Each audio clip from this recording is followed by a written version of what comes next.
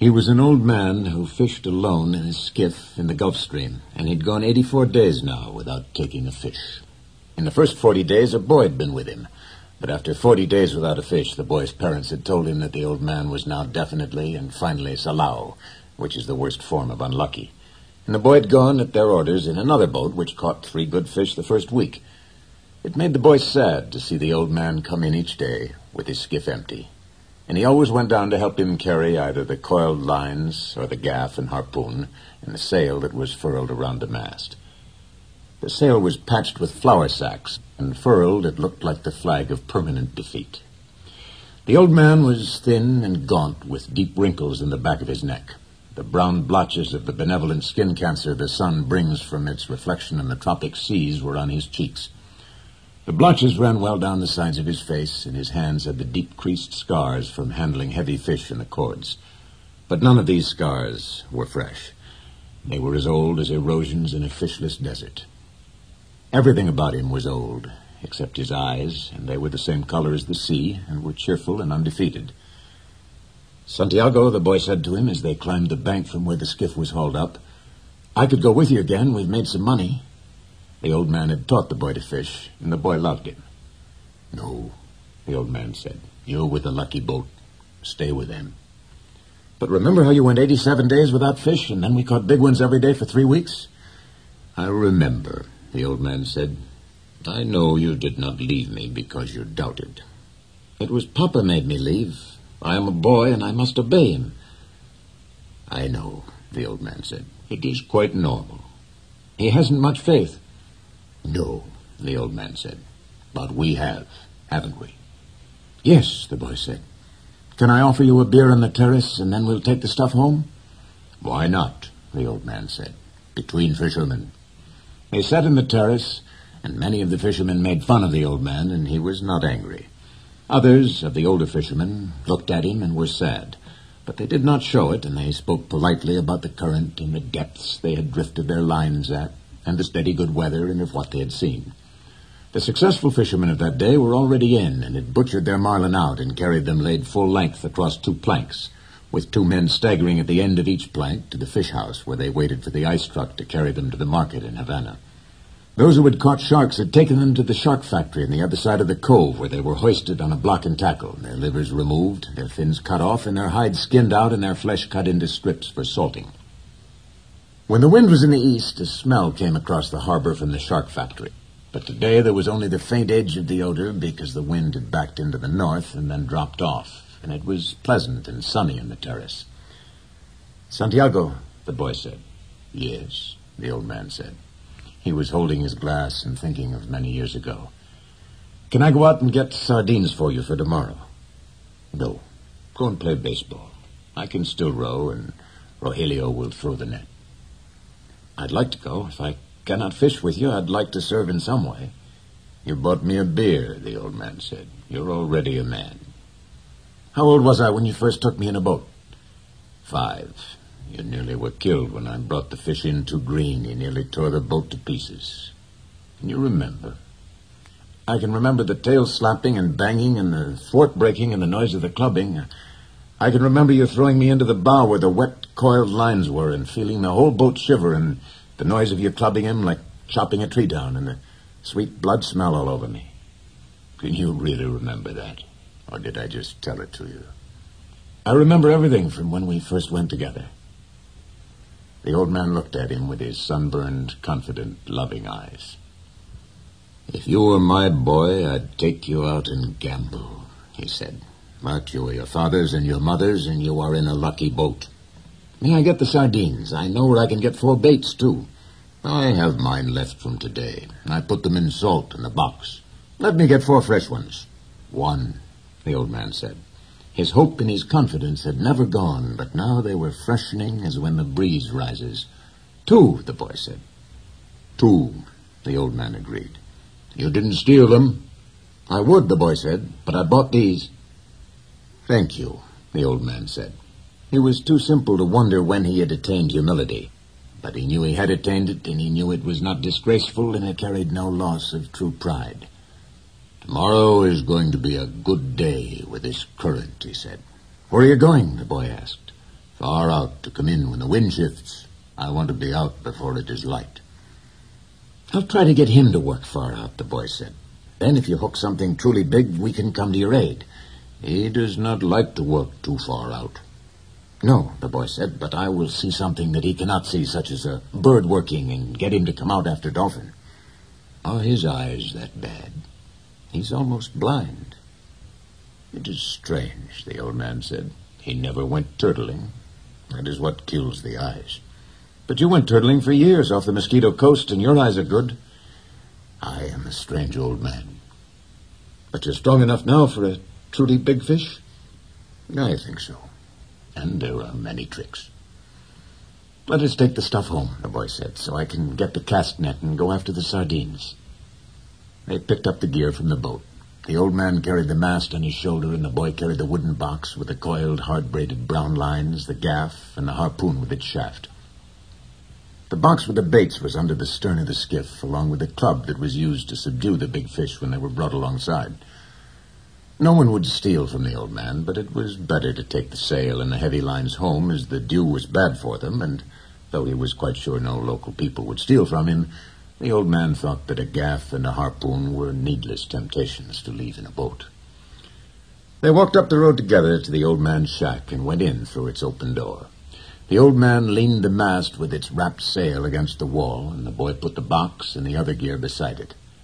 The mast was nearly as long as the one room of the shack. The shack was made of the tough bud shields of the royal palm, which are called guano. And in it there was a bed, a table, one chair, and a place on the dirt floor to cook with charcoal. On the brown walls of the flattened, overlapping leaves of the sturdy, fibered guano, there was a picture in color of the Sacred Heart of Jesus and another of the Virgin of Cobre.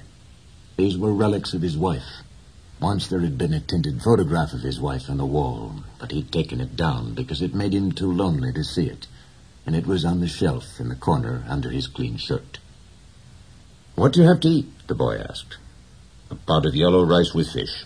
Do you want some? No, I will eat it home. Do you want me to make the fire? No, I will make it later on, or I may eat the rice cold. May I take the cast net? Of course. There was no cast net, and the boy remembered when they had sold it, but they went through this fiction every day. There was no pot of yellow rice and fish, and the boy knew this, too. Eighty-five is a lucky number, the old man said. How would you like to see me bring one in that dressed out over a thousand pounds? I'll get the cast net and go for sardines. Will you sit in the sun in the doorway? Yes, I have yesterday's paper, and I will read the baseball. The boy did not know whether yesterday's paper was a fiction, too, but the old man brought it out from under the bed. Perico gave it to me at the bodega, he explained. I'll be back when I have the sardines. I'll keep yours and mine together on ice, and we can share them in the morning. When I come back, you can tell me about the baseball. The Yankees cannot lose. But I fear the Indians of Cleveland. Have faith in the Yankees, my son. Think of the great DiMaggio. I fear both the Tigers of Detroit and the Indians of Cleveland. Be careful, or you will fear even the Reds of Cincinnati and the White Sox of Chicago. You study it and tell me when I come back. Do you think we should buy a terminal of the lottery within 85? Tomorrow is the 85th day. We can do that, the boy said, but what about the 87 of your great record? It could not happen twice. Do you think you can find an 85? I can order one. One sheet, that's two dollars and a half. Who can we borrow that from? That's easy. I can always borrow two dollars and a half. I think perhaps I can too, but I try not to borrow. First you borrow, then you beg. Keep warm, old man, the boy said. Remember, we're in September. The month when the great fish come, the old man said. Anyone can be a fisherman in May. I go now for the sardines, the boy said. When the boy came back, the old man was asleep in the chair, and the sun was down. The boy took the old army blanket off the bed and spread it over the back of the chair and over the old man's shoulders. They were strange shoulders, still powerful, although very old, and the neck was still strong, too, and the creases did not show so much when the old man was asleep and his head fallen forward. His shirt had been patched so many times that it was like the sail, and the patches were faded to many different shades by the sun. The old man's head was very old, though, and with his eyes closed, there was no life in his face. A newspaper lay across his knees, and the weight of his arm held it there in the evening breeze. He was barefooted. The boy left him there, and when he came back, the old man was still asleep. Wake up, old man, the boy said, and put his hand on one of the old man's knees. The old man opened his eyes, and for a moment he was coming back from a long way away. Then he smiled. What have you got? he asked. Supper, said the boy. We're going to have supper. I'm not very hungry. Come on and eat. You can't fish and not eat. I have, the old man said, getting up and taking the newspaper and folding it. Then he started to fold the blanket. Keep the blanket around you, the boy said. You'll not fish without eating while I'm alive. Then live a long time and take care of yourself, the old man said. What are we eating? Black beans and rice, fried bananas, and some stew. The boy had brought them in a two-decker metal container from the terrace. The two sets of knives and forks and spoons were in his pocket with a paper napkin wrapped around each set. Who gave this to you? Martin, the owner. I must thank him. I thank him already, the boy said. You don't need to thank him. I'll give him the belly meat of a big fish, the old man said. Has he done this for us more than once? I think so. I must give him something more than a belly meat, then. He is very thoughtful for us. He sent two beers. I like the beer in cans best. I know, but this is in bottles, Hatuey beer, and I take back the bottles. That's very kind of you, the old man said. Should we eat? I've been asking you to, the boy told him gently. I have not wished to open the container until you were ready. I'm ready now, the old man said. I only needed time to wash. Where did you wash? the boy thought. The village water supply was two streets down the road. I must have water here for him, the boy thought, and soap and a good towel. Why am I so thoughtless? I must get him another shirt and a jacket for the winter and some sort of shoes and another blanket. Your stew is excellent, the old man said. Tell me about the baseball, the boy asked him. In the American League, it is the Yankees, as I said, the old man said happily. They lost today, the boy told him. That means nothing. The great DiMaggio is himself again. They have other men in the team. Naturally, but he makes the difference. In the other league, between Brooklyn and Philadelphia, I must take Brooklyn. But then I think of Dick Sisler and those great drives in the old park. There was nothing ever like them. He hits the longest ball I've ever seen. Do you remember when he used to come to the terrace? I wanted to take him fishing, but I was too timid to ask him. Then I asked you to ask him, and you were too timid. I know it was a great mistake. He might have gone with us. Then we would have had that for all of our lives. I would like to take the great DiMaggio fishing, the old man said. They say his father was a fisherman. Maybe he was as poor as we are and would understand. The great Sisler's father was never poor, and he, the father, was playing in the big leagues when he was my age. When I was your age, I was before the mast on a square-rigged ship that ran to Africa, and I have seen lions on the beaches in the evening. I know, you told me. Should we talk about Africa or about baseball? Baseball, I think, the boy said. Tell me about the great John J. McGraw. He used to come to the terrace sometimes, too, in the older days. But he was rough and harsh-spoken and difficult when he was drinking. His mind was on horses as well as baseball. At least he carried lists of horses at all times in his pocket and frequently spoke the names of horses on the telephone. He was a great manager, the boy said. My father thinks he was the greatest. Because he came here the most times, the old man said. If Durocher had continued to come here each year, your father would think him the greatest manager. Who is the greatest manager, really? Luque or Mike Gonzalez? I think they are equal. And the best fisherman is you. No, I know others better. Que va, the boy said. There are many good fishermen and some great ones, but there is only you. Thank you. You make me happy. I hope no fish will come along so great that he will prove us wrong. There is no such fish if you are still strong as you say.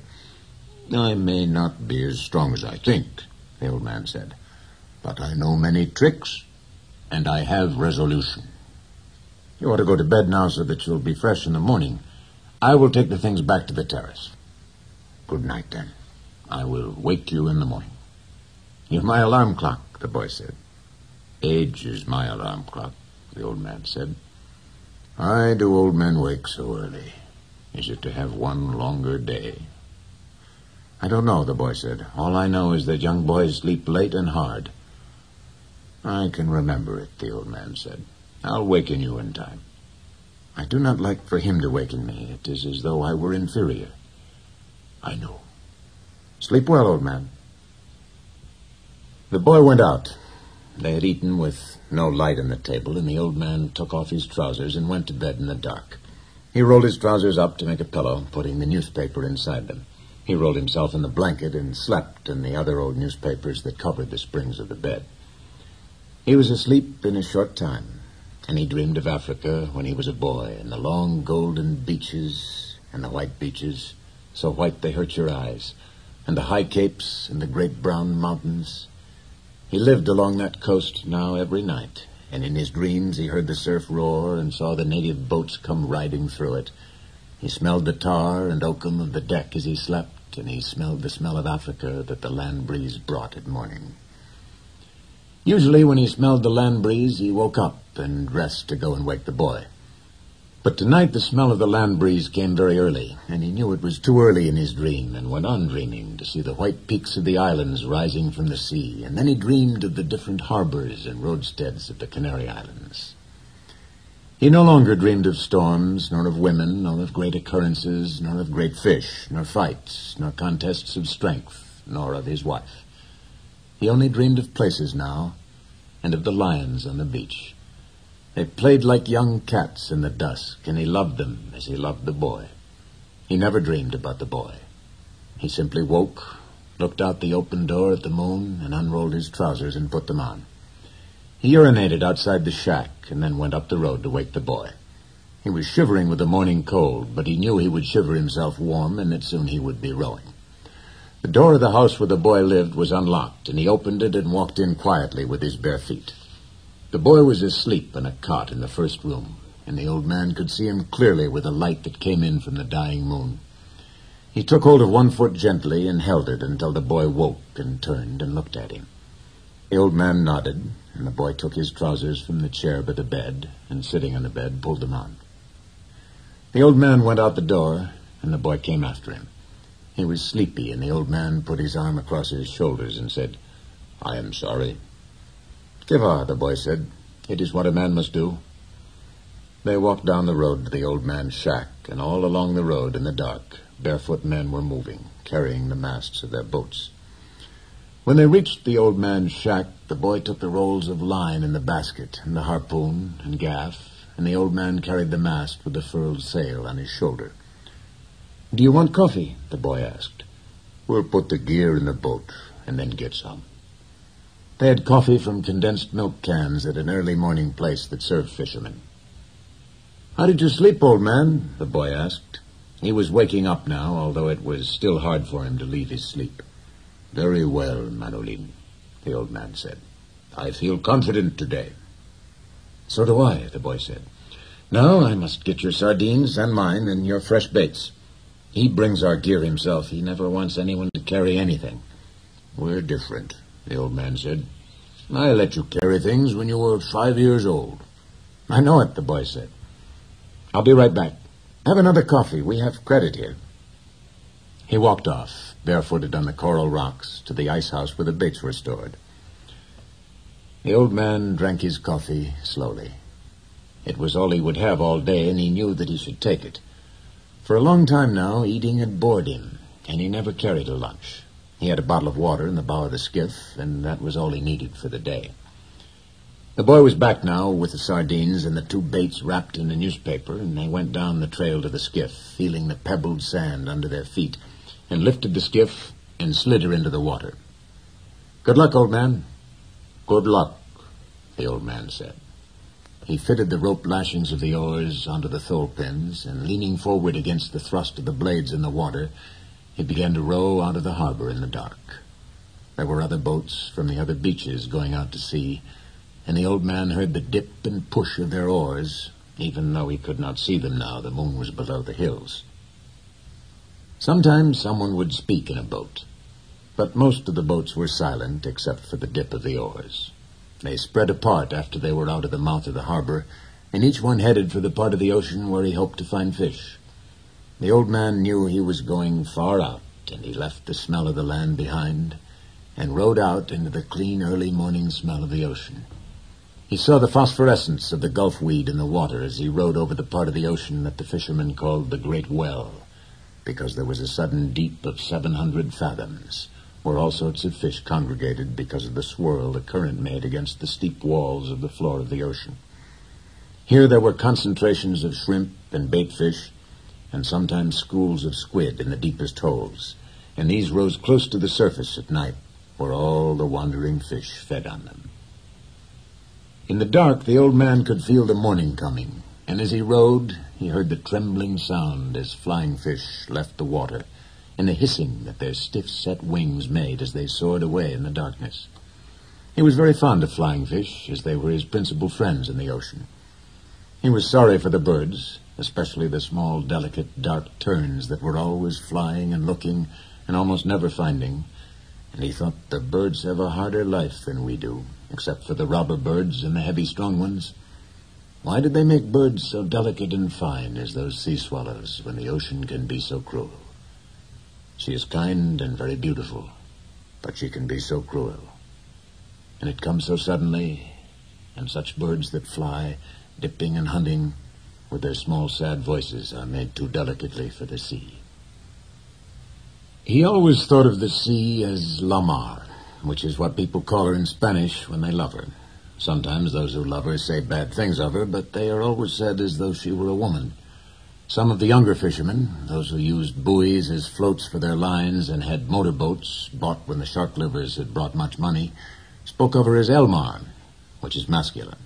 They spoke of her as a contestant or a place or even an enemy. But the old man always thought of her as feminine and as something that gave or withheld great favors. And if she did wild or wicked things, it was because she could not help them.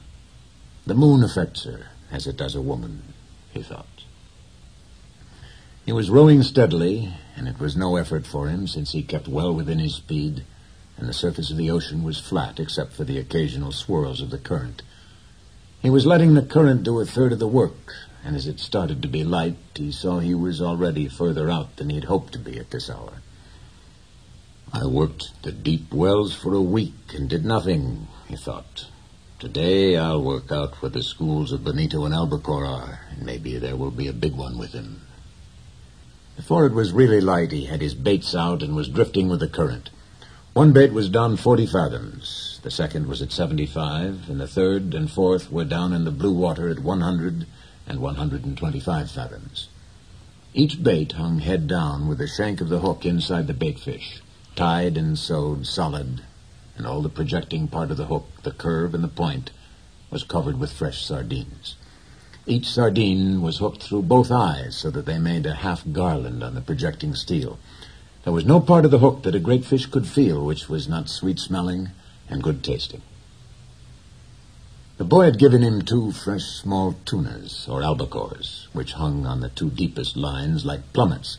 And on the others he had a big blue runner and a yellow jack that had been used before, but they were in good condition still and had the excellent sardines to give them scent and attractiveness. Each line as thick around as a big pencil, was looped onto a green-sapped stick so that any pull or touch in the bait would make the stick dip. Each line had two 40-fathom coils, which could be made fast to the other spare coils, so that if it were necessary, a fish could take out over 300 fathoms of line. Now the man watched the dip of the three sticks over the side of the skiff and rowed gently to keep the line straight up and down and at their proper depths. It was quite light, and at any moment now the sun would rise. The sun rose thinly from the sea, and the old man could see the other boats, low in the water and well in toward the shore, spread out across the current. Then the sun was brighter, and the glare came on the water, and then as it rose clear, the flat sea sent it back at his eyes so that it hurt sharply, and he rowed without looking into it. He looked down into the water and watched the lines that went straight down into the dark of the water. He kept them straighter than anyone did, so that at each level in the darkness of the stream there would be a bait waiting exactly where he wished it to be for any fish that swam there. Others let them drift with the current, and sometimes they were at sixty fathoms when the fishermen thought they were at a hundred. But he thought, I keep them with precision. Only I have no luck any more. But who knows? Maybe today. Every day is a new day. It is better to be lucky, but I would rather be exact. Then, when luck comes, you are ready. The sun was two hours higher now, and it did not hurt his eyes so much to look into the east. There were only three boats in sight now, and they showed very low and far inshore. All my life, the early sun has hurt my eyes, he thought. Yet they are still good. In the evening, I can look straight into it without getting the blackness. It has more force in the evening, too, but in the morning, it is painful. Just then he saw a man-of-war bird with his long black wings circling in the sky ahead of him. He made a quick drop, slanting down in his back-swept wings, and then circled again. He's got something, the old man said aloud. He's not just looking. He rode slowly and steadily toward where the bird was circling. He did not hurry, and he kept his line straight up and down, but he crowded the current a little so that he was still fishing correctly, though faster than he would have fished if he were not trying to use the bird. The bird went higher in the air and circled again, his wings motionless. Then he dove suddenly, and the old man saw flying fish spurt out of the water and sail desperately over the surface. Dolphin, the old man said aloud. Big dolphin. He shipped his oars and brought a small line from under the bow. It had a wire leader and a medium-sized hook, and he baited it with one of the sardines. He let it go over the side and then made it fast to a ring bolt in the stern. Then he baited another line and left it coiled in the shade of the bow. He went back to rowing and to watching the long-winged black bird who was working now low over the water. As he watched, the bird dipped again, slanting his wings for the dive and then swinging them wildly and ineffectually as he followed the flying fish. The old man could see the slight bulge in the water that the big dolphin raised as they followed the escaping fish. The dolphin were cutting through the water below the flight of the fish and would be in the water, driving at speed when the fish dropped. It is a big school of dolphin, he thought. They are widespread, and the flying fish have little chance. The bird has no chance. The flying fish are too big for him, and they go too fast. He watched the flying fish burst out again and again in the ineffectual movements of the bird. That school has gotten away from me, he thought. They are moving out too fast and too far. But perhaps I will pick up a stray, and perhaps my big fish is around him. My big fish must be somewhere. The clouds over the land now rose like mountains, and the coast was only a long green line with the gray-blue hills behind it. The water was a dark blue now, so dark that it was almost purple. As he looked down into it, he saw the red sifting of the plankton in the dark water and the strange light the sun made now. He watched his lines to see them go straight down out of sight into the water, and he was happy to see so much plankton because it meant fish. The strange light the sun made in the water, now that the sun was higher, meant good weather, and so did the shape of the clouds over the land. But the bird was almost out of sight now, and nothing showed in the surface of the water but some patches of yellow, sun-bleached sargasso weed and the purple, formalized, iridescent, gelatinous bladder of a Portuguese man-o-war floating close beside the boat. It turned on its side and then righted itself. It floated cheerfully as a bubble with its long, deadly purple filaments trailing a yard behind it in the water. Aguamala, the man said. You whore. From where he swung lightly against his oars, he looked down into the water and saw the tiny fish that were colored like the trailing filaments and swam between them and under the small shade the bubble made as it drifted. They were immune to its poison, but men were not and when some of the filaments would catch on a line and rest there, slimy and purple, while the old man was working a fish, He would have welts and sores on his arms and hands of the sort that poison ivy or poison oak can give. But these poisonings from the agua mala came quickly and struck like a whiplash. The iridescent bubbles were beautiful, but they were the falsest thing in the sea, and the old man loved to see the big sea turtles eating them. The turtles saw them, approaching them from the front, then shut their eyes so they were completely carapaced, and ate them, filaments and all. The old man loved to see the turtles eat them, and he loved to walk on them on the beach after a storm and hear them pop when he stepped on them with the horny soles of his feet. He loved green turtles and hawkbills with their elegance and speed and their great value, and he had a friendly contempt for the huge, stupid loggerheads, yellow in their armor plating, strange in their love-making, and happily eating the Portuguese men of war with their eyes shut. He had no mysticism about turtles, although he'd gone in turtle boats for many years. He was sorry for them all, even the great trunk backs that were as long as the skiff and weighed a ton. Most people are heartless about turtles because a turtle's heart will beat for hours after he's been cut up and butchered. But the old man thought, I have such a heart too, and my feet and hands are like theirs.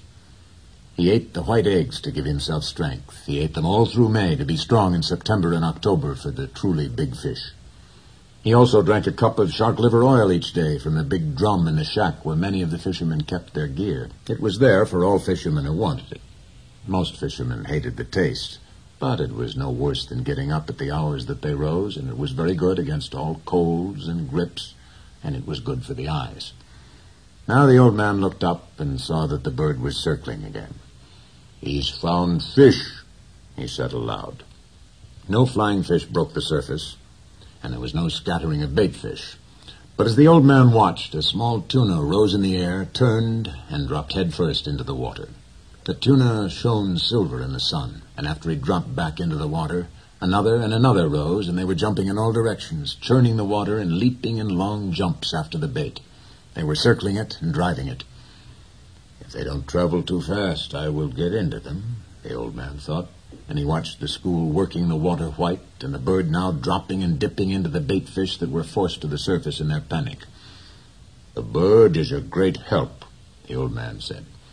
Just then the stern line came taut under his foot where he'd kept a loop of the line, and he dropped his oars and felt the weight of the small tuna's shivering pull as he held the line firm and commenced to haul it in. The shivering increased as he pulled in, and he could see the blue back of the fish in the water and the gold of his sides before he swung him over the side and into the boat. He lay in the stern in the sun, compact and bullet-shaped, his big, unintelligent eyes staring as he thumped his life out against the planking of the boat with the quick, shivering strokes of his neat, fast-moving tail. The old man hit him in the head for kindness and kicked him, his body still shuddering, under the shade of the stern. Albacore, he settled out. He'll make a beautiful bait. He'll weigh ten pounds. He did not remember when he'd first started to talk aloud when he was by himself. He had sung when he was by himself in the old days, and he had sung at night sometimes when he was alone, steering on his watch in the smacks or in the turtle boats. He'd probably started to talk aloud when alone when the boy had left, but he did not remember. When he and the boy fished together, they usually spoke only when it was necessary. They talked at night or when they were storm-bound by bad weather. It was considered a virtue not to talk unnecessarily at sea, and the old man had always considered it so and respected it.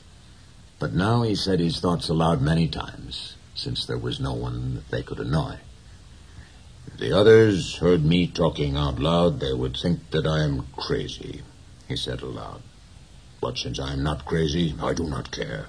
And the rich have radios to talk to them in their boats and to bring them the baseball.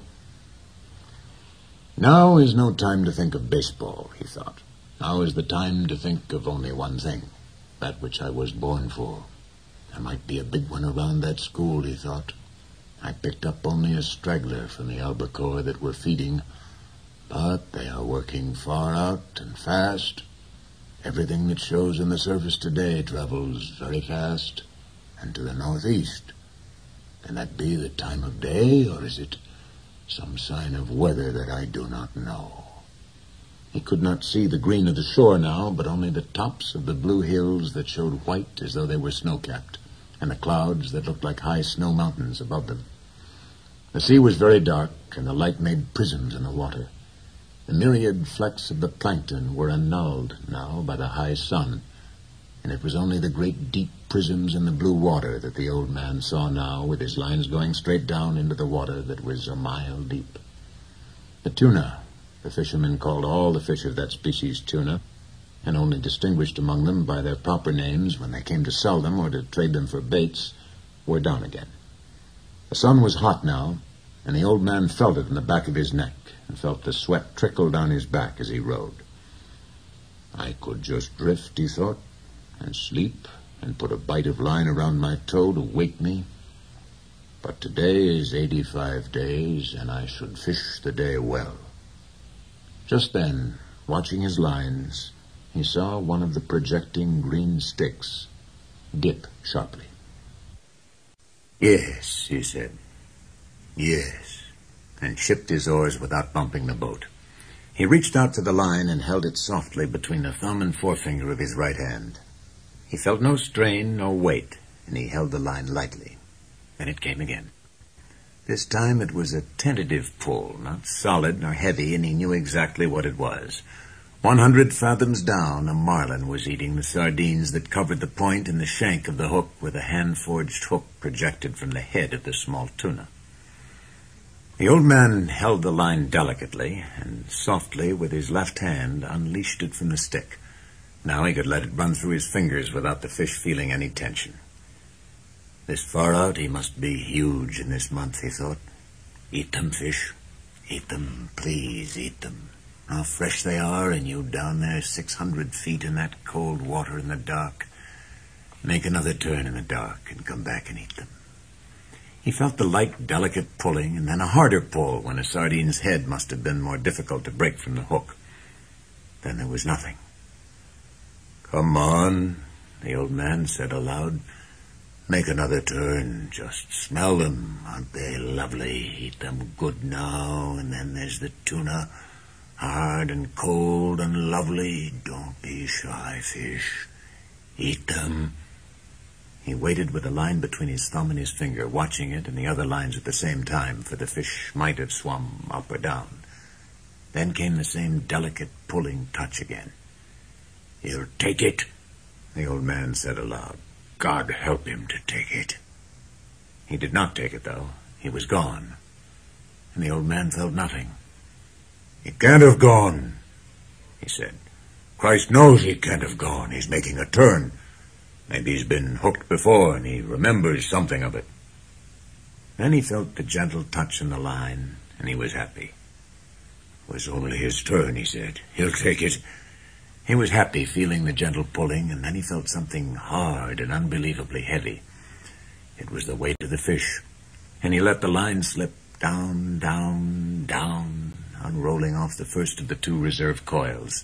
As it went down, slipping lightly through the old man's fingers, he still could feel the great weight, though the pressure of his thumb and finger were almost imperceptible.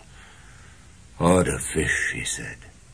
He has it sideways in his mouth now, and he's moving off with it. And he will turn and swallow it, he thought. He did not say that because he knew that if you said a good thing, it might not happen. He knew what a huge fish this was, and he thought of him moving away in the darkness with the tuna held crosswise in his mouth. At that moment he felt him stop moving, but the weight was still there. Then the weight increased, and he gave more line. He tightened the pressure of his thumb and finger for a moment, and the weight increased and was going straight down. He's taken it, he said. Now I'll let him eat it well. He let the line slip through his fingers while he reached down with his left hand and made fast the free end of the two reserve coils to the loop of the two reserve coils of the next line. Now he was ready. He had three 40-fathom coils of line in reserve now, as well as the coil he was using. Eat it a little more, he said. Eat it well. Eat it so that the point of the hook goes into your heart and kills you, he thought. Come up easy and let me put the harpoon into you. All right, are you ready? Have you been long enough at table? Now, he said aloud, and struck hard with both hands, gained a yard of line, and then struck again and again, swinging with each arm alternately in the cord with all the strength of his arms and the pivoted weight of his body. Nothing happened. The fish just moved away slowly, and the old man could not raise him an inch. His line was strong and made for heavy fish, and he held it against his back until it was so taut that beads of water were jumping from it. Then it began to make a slow hissing sound in the water, and he still held it, bracing himself against the thwart and leaning back against the pull. The boat began to move slowly off toward the northwest. The fish moved steadily, and they traveled slowly on the calm water. The other baits were still in the water, but there was nothing to be done. I wish I had the boy, the old man said aloud. I'm being towed by a fish, and I'm the towing bitt. I could make the line fast, but then he could break it. I must hold him all I can and give him line when he must have it. Thank God he's traveling and not going down. What I will do if he decides to go down, I don't know. What I'll do if he sounds and dies, I don't know.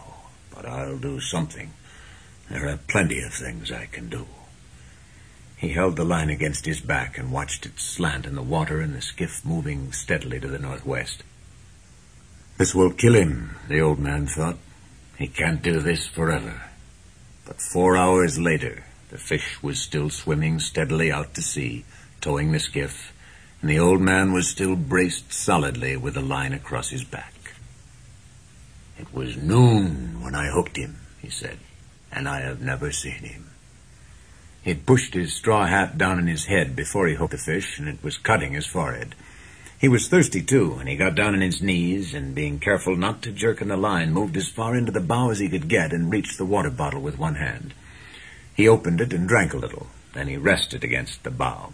He rested sitting in the unstepped mast and sail and tried not to think, but only to endure. Then he looked behind him and saw that no land was visible. That makes no difference, he thought. I can always come in on the glow from Havana. There are two more hours before the sun sets, and maybe he will come up before that. If he doesn't, maybe he will come up with the moon. If he does not do that, maybe he will come up with the sunrise. I have no cramps, and I feel strong. It is he that has the hook in his mouth. But what a fish, to pull like that. He must have his mouth shut tight on the wire. I wish I could see him. I wish I could see him only once to know what I have against me. The fish never changed his course nor his direction all that night as far as the man could tell from watching the stars. It was cold after the sun went down, and the old man's sweat dried cold on his back in his arms and his old legs. During the day, he'd taken the sack that covered the bait box and spread it in the sun to dry. After the sun went down, he tied it around his neck so that it hung down over his back, and he cautiously worked it down under the line that was across his shoulders now. The sack cushioned the line, and he had found a way of leaning forward against the bow so that he was almost comfortable. The position actually was only somewhat less intolerable, but he thought of it as almost comfortable. I can do nothing with him, and he can do nothing with me, he thought. Not as long as he keeps this up. Once he stood up and urinated over the side of the skiff and looked at the stars and checked his course. The line showed like a phosphorescent streak in the water straight out from his shoulders. They were moving more slowly now, and the glow of Havana was not so strong, so that he knew the current must be carrying them to the eastward. If I lose the glare of Havana, we must be going more to the eastward, he thought. For if the fish's course held true, I must see it for many more hours. I wonder how the baseball came out in the Grand Leagues today, he thought. It would be wonderful to do this with a radio. Then he thought, Think of it always. Think of what you are doing. You must do nothing stupid. Then he said aloud, I wish I had the boy to help me and to see this. No one should be alone in their old age, he thought, but it is unavoidable. I must remember to eat the tuna before he spoils in order to keep strong. Remember, no matter how little you want to, that you must eat him in the morning. Remember, he said to himself. During the night, two porpoises came around the boat, and he could hear them rolling and blowing. He could tell the difference between the blowing noise the male made and the sighing blow of the female. They're good, he said. They play and make jokes and love one another, They are our brothers, like the flying fish.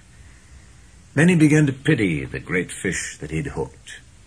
He is wonderful and strange, and who knows how old he is, he thought. Never have I had such a strong fish, nor one who acted so strangely. Perhaps he is too wise to jump. He could ruin me by jumping, or by a wild rush. But perhaps he has been hooked many times before, and he knows that this is how he should make his fight. He cannot know that it is only one man against him, nor that it is an old man. But what a great fish he is, and what will he bring in the market if the flesh is good? He took the bait like a male, and he pulls like a male, and his fight has no panic in it. I wonder if he has any plans, or if he is just as desperate as I am. He remembered the time that he'd hooked one of a pair of marlin. The male fish always let the female fish feed first, and the hooked fish, the female, made a wild, panic-stricken, despairing fight that soon exhausted her, and all the time the male had stayed with her, crossing the line and circling with her on the surface. He'd stayed so close that the old man was afraid he'd cut the line with his tail, which was sharp as a scythe and almost of that size and shape. When the old man had gaffed her and clubbed her, holding the rapier bill with its sandpaper edge and clubbing her across the top of her head until her color turned to a color almost like the backing of mirrors, and then, with the boy's aid, hoisted her aboard, the male fish had stayed by the side of the boat. Then, while the old man was clearing the lines and preparing the harpoon, the male fish jumped high into the air beside the boat to see where the female was, and then went down deep his lavender wings that were his pectoral fins spread wide and all his wide lavender stripes showing. He was beautiful, the old man remembered, and he had stayed. That was the saddest thing I ever saw with them, the old man thought. The boy was sad too, and we begged her pardon and butchered her promptly. I wish the boy was here, he said aloud and settled himself against the rounded planks of the bow, and felt the strength of the great fish through the line he held across his shoulders, moving steadily toward whatever he had chosen. When once, through my treachery, it had been necessary to him to make a choice, the old man thought. His choice had been to stay in the deep, dark water far out beyond all snares and traps and treacheries. My choice was to go there to find him beyond all people, beyond all people in the world. Now we are joined together, and have been since noon, and no one to help either one of us. Perhaps I should not have been a fisherman, he thought, but that was the thing that I was born for. and must surely remember to eat the tuna after it gets light. Sometime before daylight, something took one of the baits that were behind him. He heard the stick break and the line begin to rush out over the gunwale of the skiff. In the darkness, he loosened his sheath knife, and taking all the strain of the fish on his left shoulder, he leaned back and cut the line against the wood of the gunwale. Then he cut the other line closest to him, and in the dark made the loose ends of the reserve coils fast. He worked skillfully with the one hand and put his foot in the coils to hold them as he drew his knots tight. Now he had six reserve coils of line. There were two from each bait he had severed, and the two from the bait the fish had taken, and they were all connected. After it is light, he thought, I will work back to the forty fathom bait and cut it away too, and link up the reserve coils. I will have lost two hundred fathoms of good Catalan cordel, and the hooks and leaders. That can be replaced. But who replaces this fish if I hook some fish and it cuts him off? I don't know what that fish was that took the bait just now. It could have been a marlin or a broadbill or a shark. I never felt him. I had to get rid of him too fast. Aloud he said, I wish I had the boy. But you haven't got the boy, he thought. You have only yourself, and you'd better work back to the last line now, in the dark or not in the dark, and cut it away and hook up the two reserve coils. So he did it. It was difficult in the dark, and once the fish made a surge that pulled him down in his face and made a cut below his eye. The blood ran down his cheek a little way. But it coagulated and dried before it reached his chin, and he worked his way back to the bow and rested against the wood. He adjusted the sack and carefully worked the line so that it came across a new part of his shoulders, and holding it anchored with his shoulders, he carefully felt the pull of the fish, and then felt with his hand the progress of the skiff through the water. I wonder what he made that lurch for, he thought. The wire must have slipped on the great hill of his back. Certainly his back cannot feel as badly as mine does, but he cannot pull this skiff forever, no matter how great he is. Now everything is cleared away that might make trouble, and I have a big reserve of line, all that a man can ask. Fish, he said softly, aloud, I'll stay with you until I am dead. You'll stay with me, too, I suppose, the old man thought, and he waited for it to be light. It was cold now in the time before daylight, and he pushed against the wood to be warm. I can do it as long as he can, he thought. And in the first light, the line extended out and down into the water. The boat moved steadily, and when the first edge of the sun rose, it was in the old man's right shoulder. He's headed north, the old man said. The current will have set us far to the eastward, he thought. I wish he would turn with the current. That would show that he was tiring. When the sun had risen further, the old man realized that the fish was not tiring. There was only one favorable sign. The slant of the line showed he was swimming at a lesser depth. That did not necessarily mean that he would jump, but he might. God let him jump, the old man said. I have enough line to handle him. Maybe if I can increase the tension just a little, it will hurt him and he will jump, he thought. Now that it is daylight, let him jump so that he'll fill the sacks along his backbone with air, and then he cannot go deep to die. He tried to increase the tension, but the line had been taut up to the very edge of the breaking point since he had hooked the fish, and he felt the harshness as he leaned back to pull, and knew he could put no more strain on it. I must not jerk it ever, he thought. Each jerk widens the cut the hook makes, and then when he does jump, he might throw it. Anyway, I feel better with the sun, and for once I do not have to look into it. There was yellow weed on the line, but the old man knew that only made an added drag, and he was pleased. It was the yellow gulf weed that had made so much phosphorescence in the night. Fish, he said, I love you and respect you very much, but I will kill you dead before this day ends. Let us hope so, he thought. A small bird came toward the skiff from the north. He was a warbler and flying very low over the water. The old man could see that he was very tired. The bird made the stern of the boat and rested there. Then he flew around the old man's head and rested on the line where he was more comfortable. How old are you? The old man asked the bird. Is this your first trip? The bird looked at him when he spoke. He was too tired even to examine the line, and he teetered on it as his delicate feet gripped it fast. It's steady, the old man told him. It's too steady. You shouldn't be that tired after a windless night. What are birds coming to? The hawks, he thought, that come out to sea to meet them.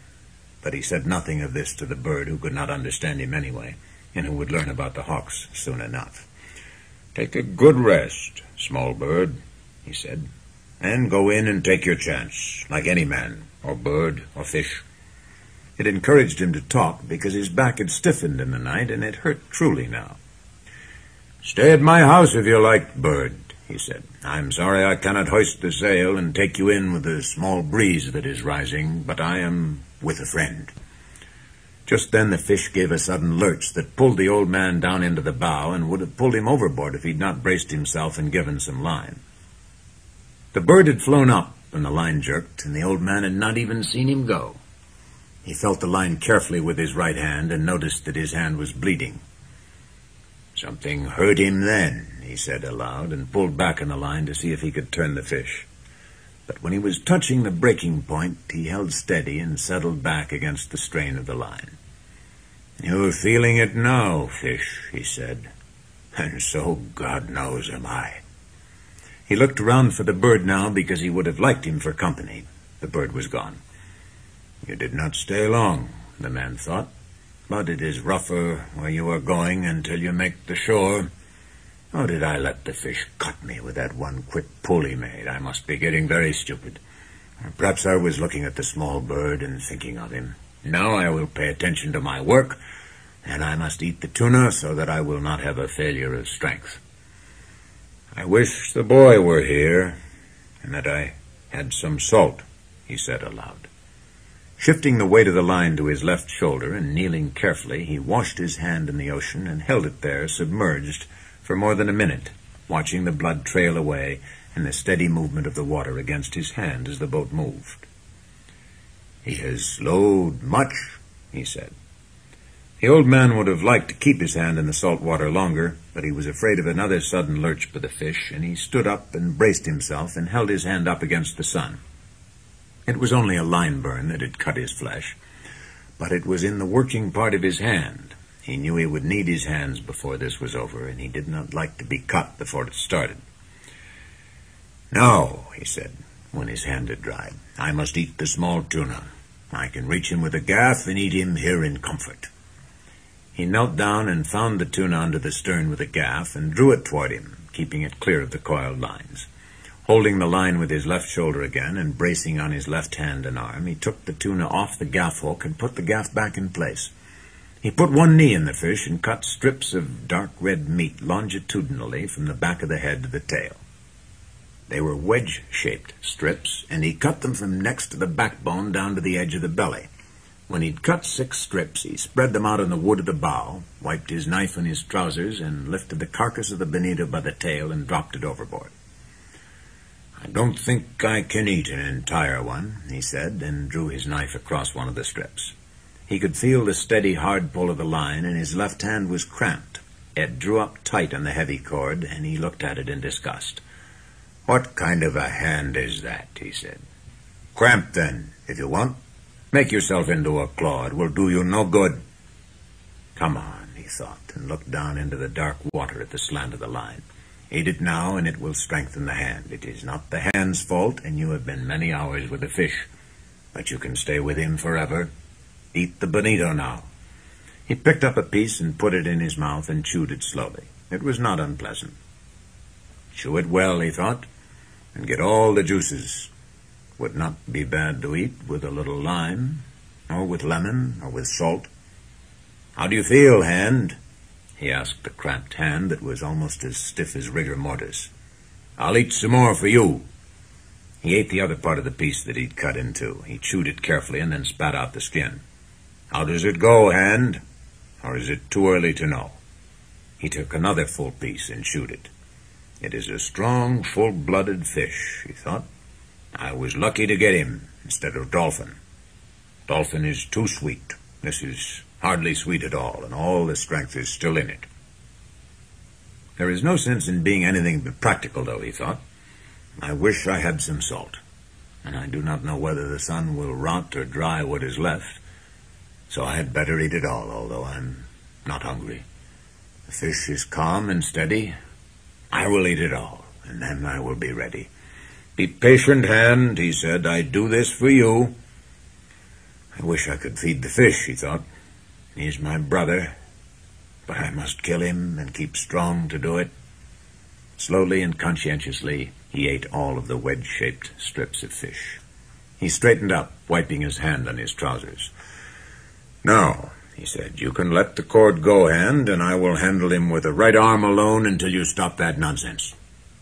He put his left foot in the heavy line that the left hand had held and lay back against the pull against his back.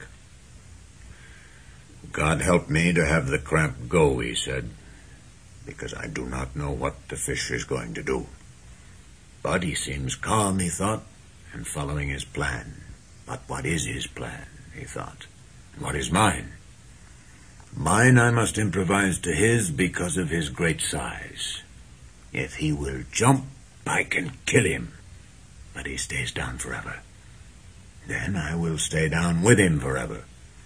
He rubbed the cramped hand against his trousers and tried to gentle the fingers, but it would not open. Maybe it will open with the sun, he thought. Maybe it will open when the strong, raw tuna is digested. If I have to have it, I will open it, cost whatever it costs. But I do not want to open it now by force. Let it open by itself and come back of its own accord. After all, I abused it much in the night when it was necessary to free and untie the various lines. He looked across the sea and knew how alone he was now. But he could see the prisms in the deep dark water and the lines stretching ahead and the strange undulation of the calm. The clouds were building up now for the trade wind, and he looked ahead and saw a flight of wild ducks etching themselves against the sky over the water, then blurring, then etching again, and he knew no man was ever alone on the sea.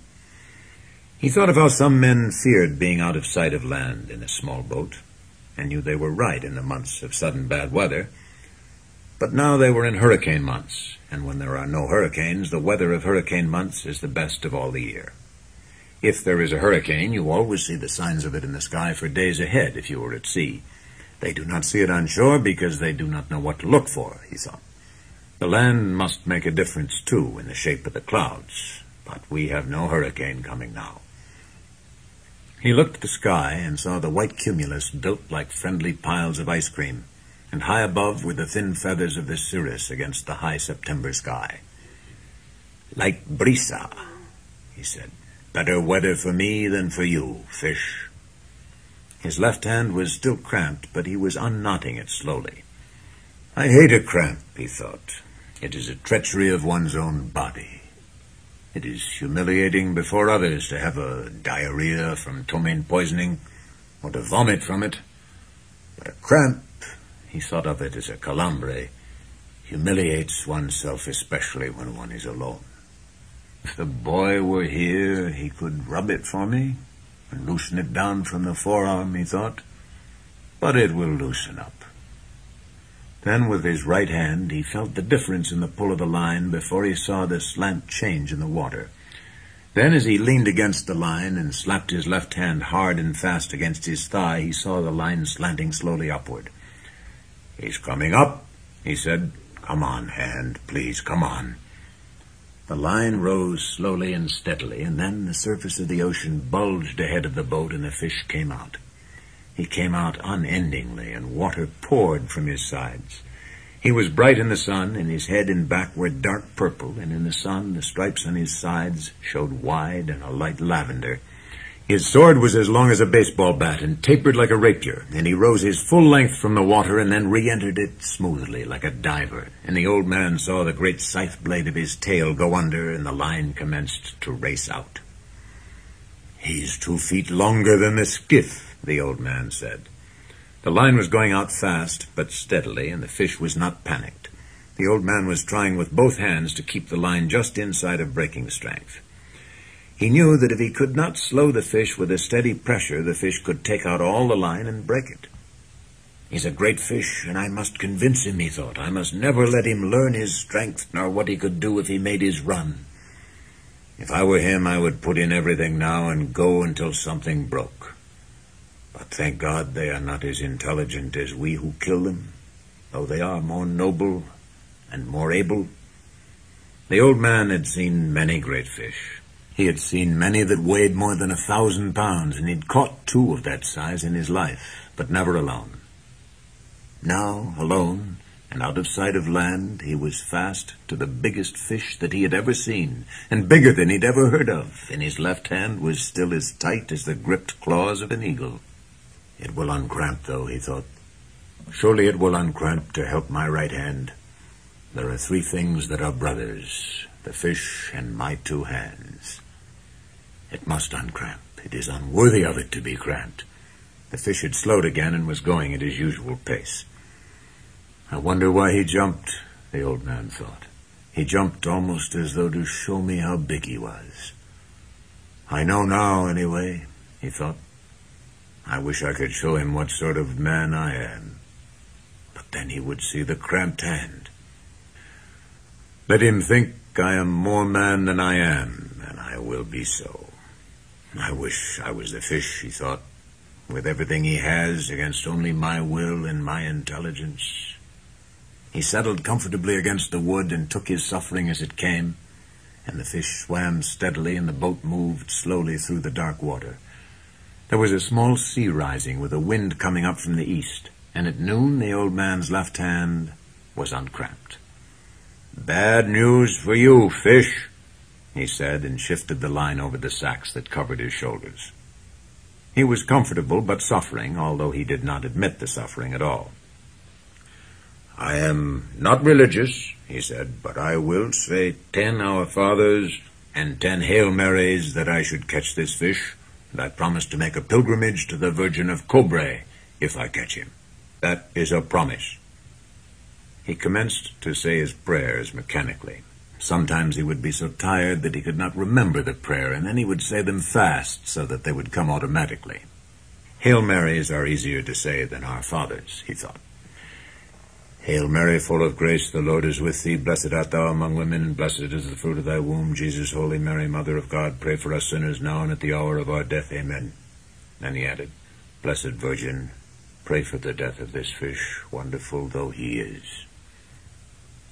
With his prayers said and feeling much better, but suffering exactly as much and perhaps a little more, he leaned against the wood of the bow and began mechanically to work the fingers of his left hand. The sun was hot now, although the breeze was rising gently. I had better rebait that little line out over the stern, he said. If the fish decides to stay another night, I will need to eat again. The water is low in the bottle. I don't think I can get anything but a dolphin here. But if I eat him fresh enough, he won't be bad. I wish a flying fish would come on board tonight, but I have no light to attract them. A flying fish is excellent to eat raw, and I would not have to cut him up. I must save all my strength now. Christ, I did not know he was so big. I'll kill him, though, he said, in all his greatness and his glory. Although it is unjust, he thought, but I will show him what a man can do and what a man endures. I told the boy I was a strange old man, he said. Now is when I must prove it. The thousand times that he had proved it meant nothing. Now he was proving it again. Each time was a new time, and he never thought about the past when he was doing it. I wish he'd sleep, and I could sleep and dream about the lions, he thought. Why are the lions the main thing that is left? Don't think, old man he said to himself. Rest gently now against the wood and think of nothing. He is working. Work as little as you can. It was getting into the afternoon, and the boat still moved slowly and steadily. But there was an added drag now from the easterly breeze, and the old man rowed gently with the small sea, and the hurt of the cord across his back came to him easily and smoothly. Once in the afternoon, the line started to rise again, but the fish only continued to swim at a slightly higher level. The sun was on the old man's left arm and shoulder and on his back, so he knew the fish had turned east of north.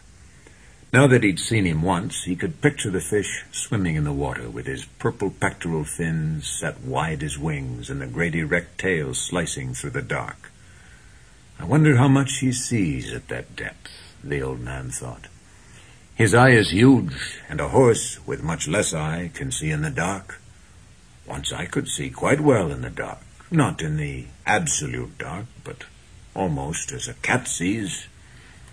The sun and his steady movement of his fingers had uncramped his left hand now completely, and he began to shift more of the strain to it, and he shrugged the muscles of his back to shift the hurt of the cord a little. If you're not tired, fish, he said aloud, you must be very strange.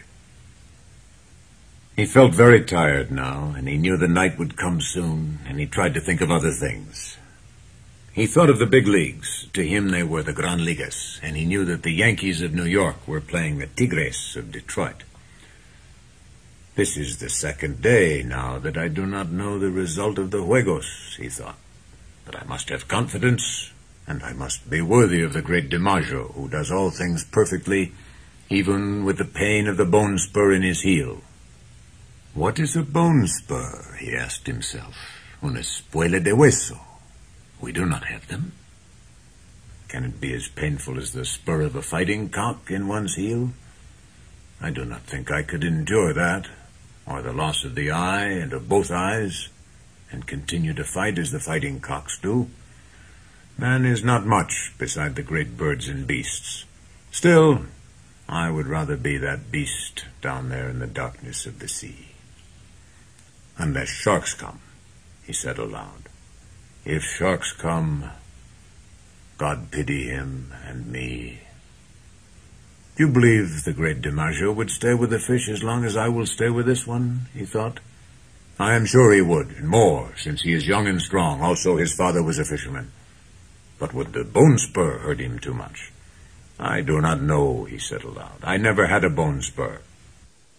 As the sun set, he remembered, to give himself more confidence, the time in the tavern at Casablanca when he had played the hand game with a great Negro from Cienfuegos, who was the strongest man in the docks. They had gone one day and one night with their elbows on a chalk line on the table, with their forearms straight up and their hands gripped tight. Each one was trying to force the other's hand down onto the table. There was much betting, and people went in and out of the room under the kerosene lights. And he had looked at the arm and hand of the Negro and at the Negro's face. They changed the referees every four hours after the first eight, so that the referees could sleep. Blood came out from under the fingernails of both his and the Negro's hand, and they looked each other in the eye and at their hands and forearms, and the bettors went in and out of the room and sat on high chairs against the wall and watched. The walls were painted bright blue and were of wood, and the lamps threw their shadows against them. The Negro's shadow was huge, and it moved on the wall as the breeze moved the lamps. The odds would change back and forth all night, and they fed the Negro rum and lighted cigarettes for him. Then the Negro, after the rum, would try for a tremendous effort, and once he had the old man, who was not an old man then, but was Santiago El Campeon, nearly three inches off balance.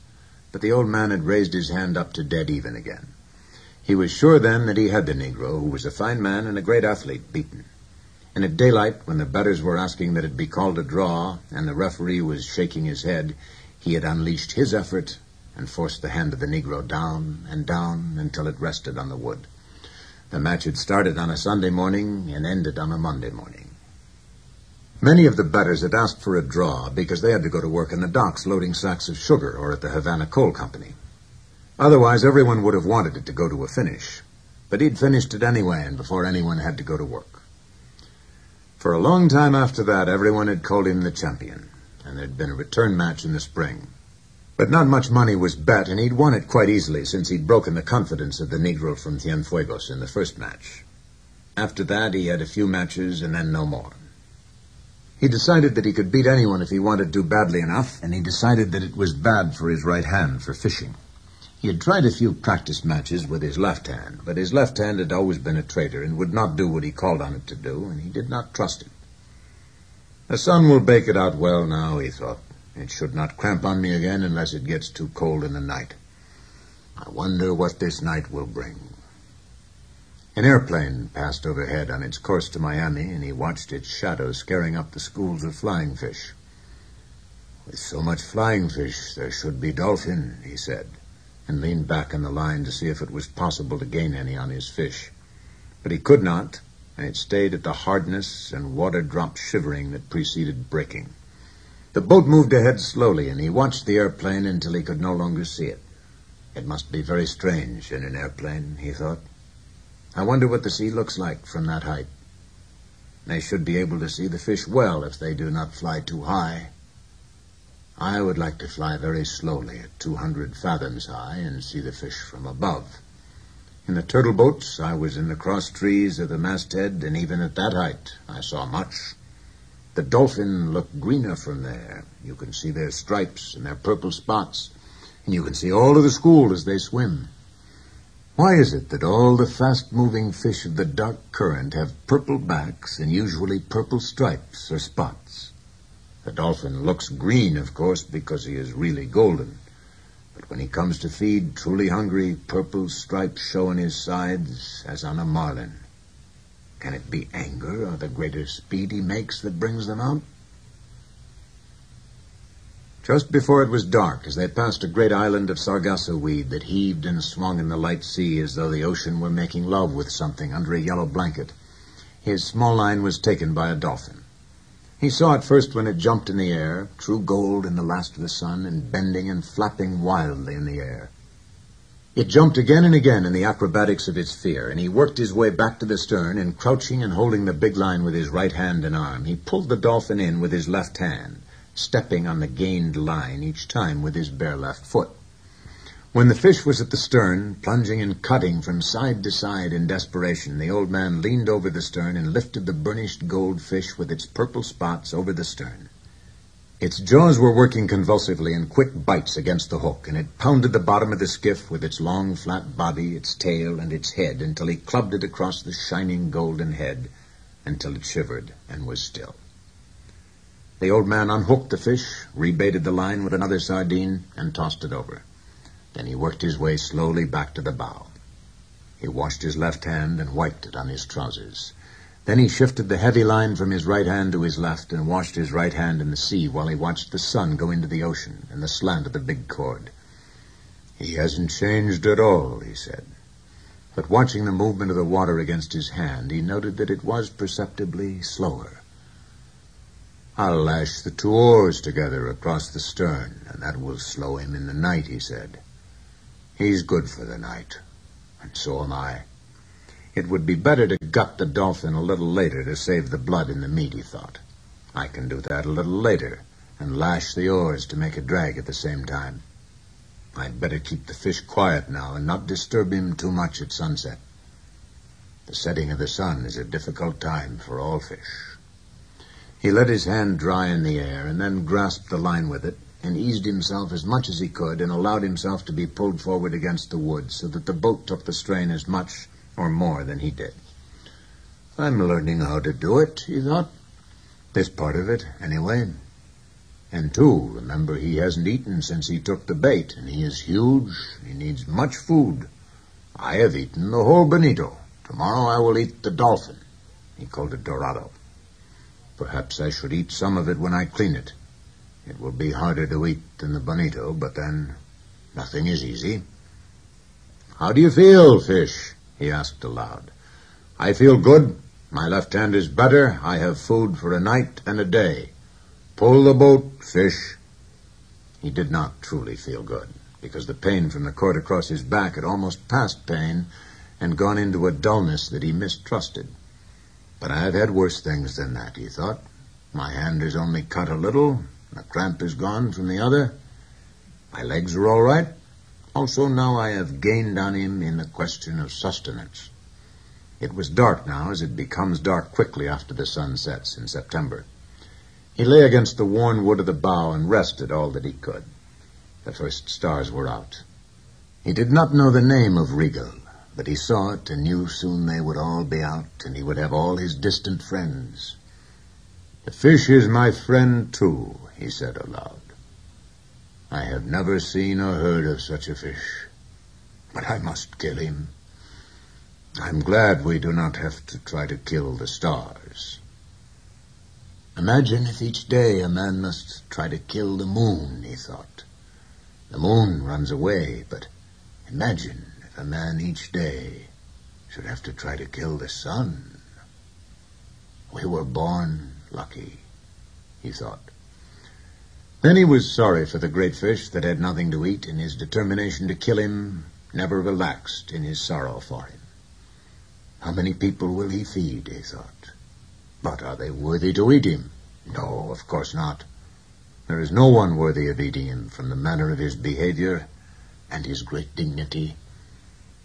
I do not understand these things, he thought, but it is good that we do not have to try to kill the sun or the moon or the stars. It is enough to live on the sea and kill our true brothers. No, he thought, I must think about the drag. It has its perils and its merits.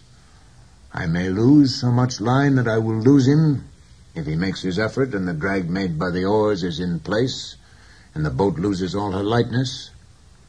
Her lightness prolongs both our suffering, but it is my safety since he has great speed that he has never yet employed. No matter what passes, I must gut the dolphin so he does not spoil, and eat some of him to be strong. Now I will rest an hour more and feel that he is solid and steady before I move back to the stern to do the work and make the decision. In the meantime, I can see how he acts and if he shows any changes. The oars are a good trick, but it has reached the time to play for safety. He has much fish still, and I saw that the hook was in the corner of his mouth, and he has kept his mouth tight shut. The punishment of the hook is nothing. The punishment of hunger and that he is against something that he does not comprehend is everything. Rest now, old man, and let him work until your next duty comes. He rested for what he believed to be two hours. The moon did not rise now until late, and he had no way of judging the time, nor was he really resting, except comparatively. He was still bearing the pull of the fish across his shoulders, but he placed his left hand on the gunwale of the bow and confided more and more of the resistance to the fish to the skiff itself. How simple it would be if I could make the line fast, he thought. But with one small lurch he could break it.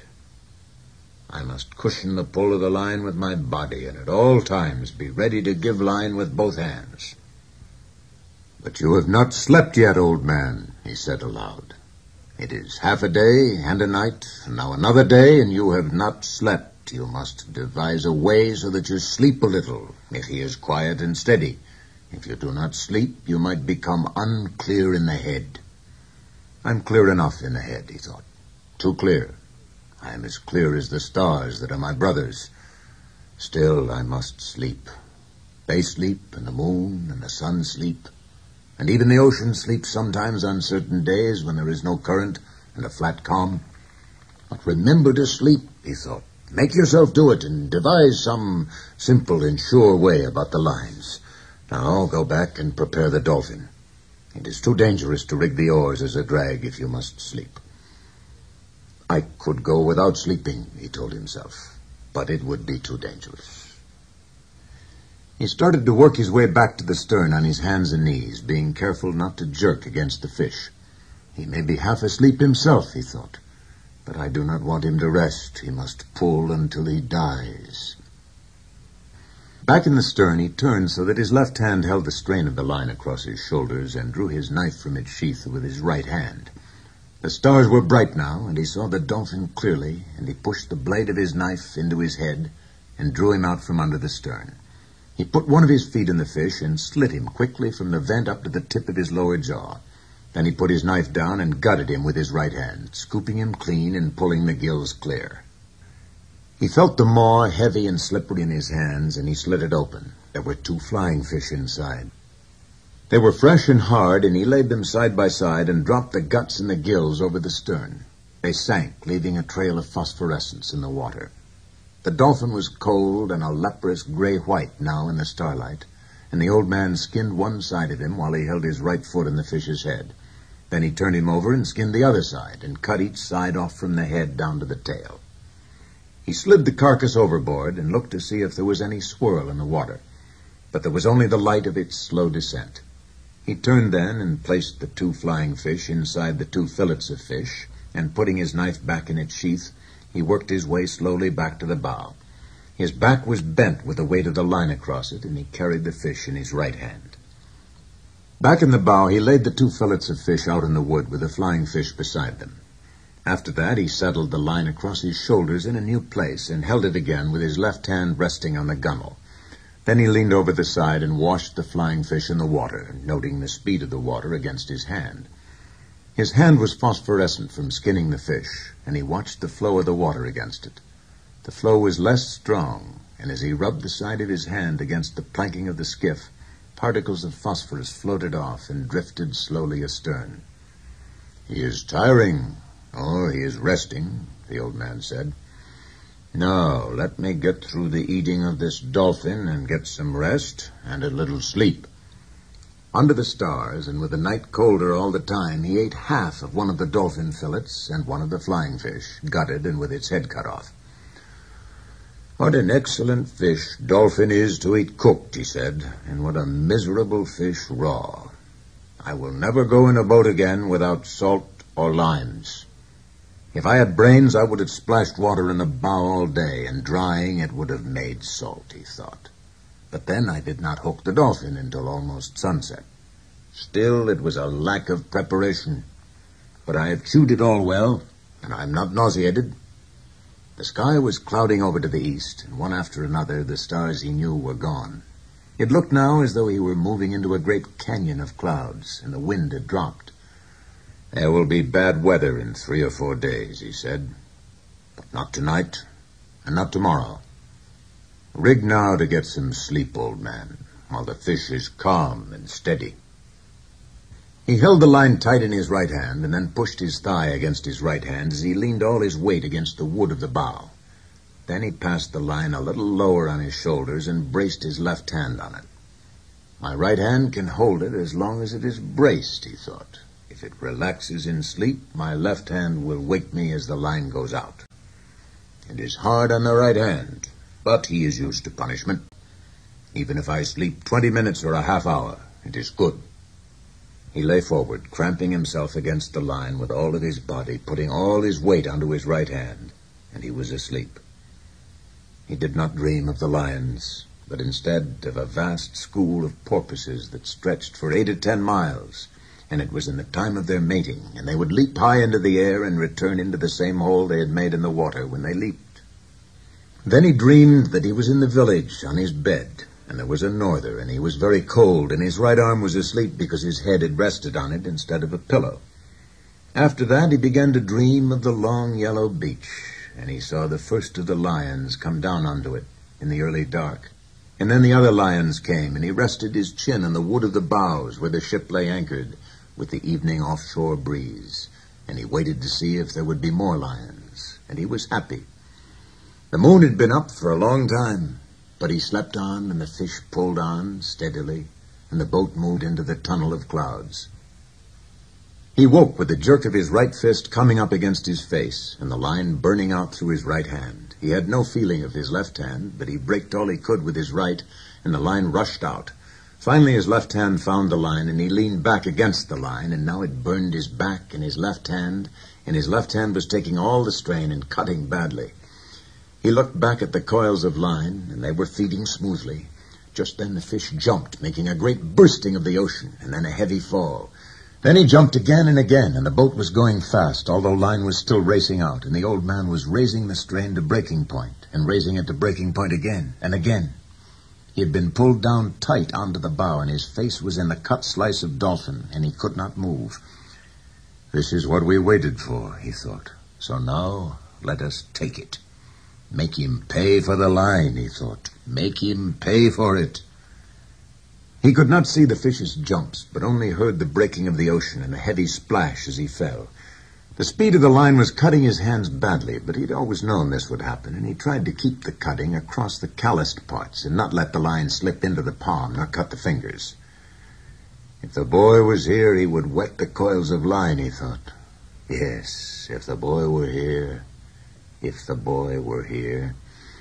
The line went out and out and out, but it was slowing now, and he was making the fish earn each inch of it. Now he got his head up from the wood and out of the slice of fish that his cheek had crushed. Then he was on his knees, and then he rose slowly to his feet. He was ceding line, but more slowly all the time. He worked back to where he could feel with his foot the coils of line that he could not see. There was plenty of line still, and now the fish had to pull the friction of all that new line through the water. Yes, he thought, now he has jumped more than a dozen times and filled the sacks along his back with air. He cannot go down deep to die where I cannot bring him up. He will start circling soon, and I must work on him. I wonder what started him so suddenly. Could it have been hunger that made him desperate? Or was he frightened by something in the night? Maybe he suddenly felt fear. But he was such a calm, strong fish and he seemed so fearless and so confident. It is strange. You better be fearless and confident yourself, old man, he said. You're holding him again, but you cannot get line. But soon he has to circle. The old man held him with his left hand in his shoulders now and stooped down and scooped up water in his right hand to get the crushed dolphin flesh off of his face. He was afraid that it might nauseate him and he would vomit and lose his strength. When his face was cleaned, he washed his right hand in the water over the side and then let it stay in the salt water while he watched the first light come before the sunrise. He's headed almost east, he thought. That means he's tired and going with the current. Soon he will have to circle. Then our true work begins. After he judged that his right hand had been in the water long enough, he took it out and looked at it. It is not bad, he said, and pain does not matter to a man. He took hold of the line carefully so that it did not fit into any of the fresh line cuts and shifted his weight so that he could put his left hand into the sea on the other side of the skiff. You did not do so badly for something worthless, he said to his left hand. But there was a moment when I could not find you. Why was I not born with two good hands, he thought. Perhaps it was my fault in not training that one properly.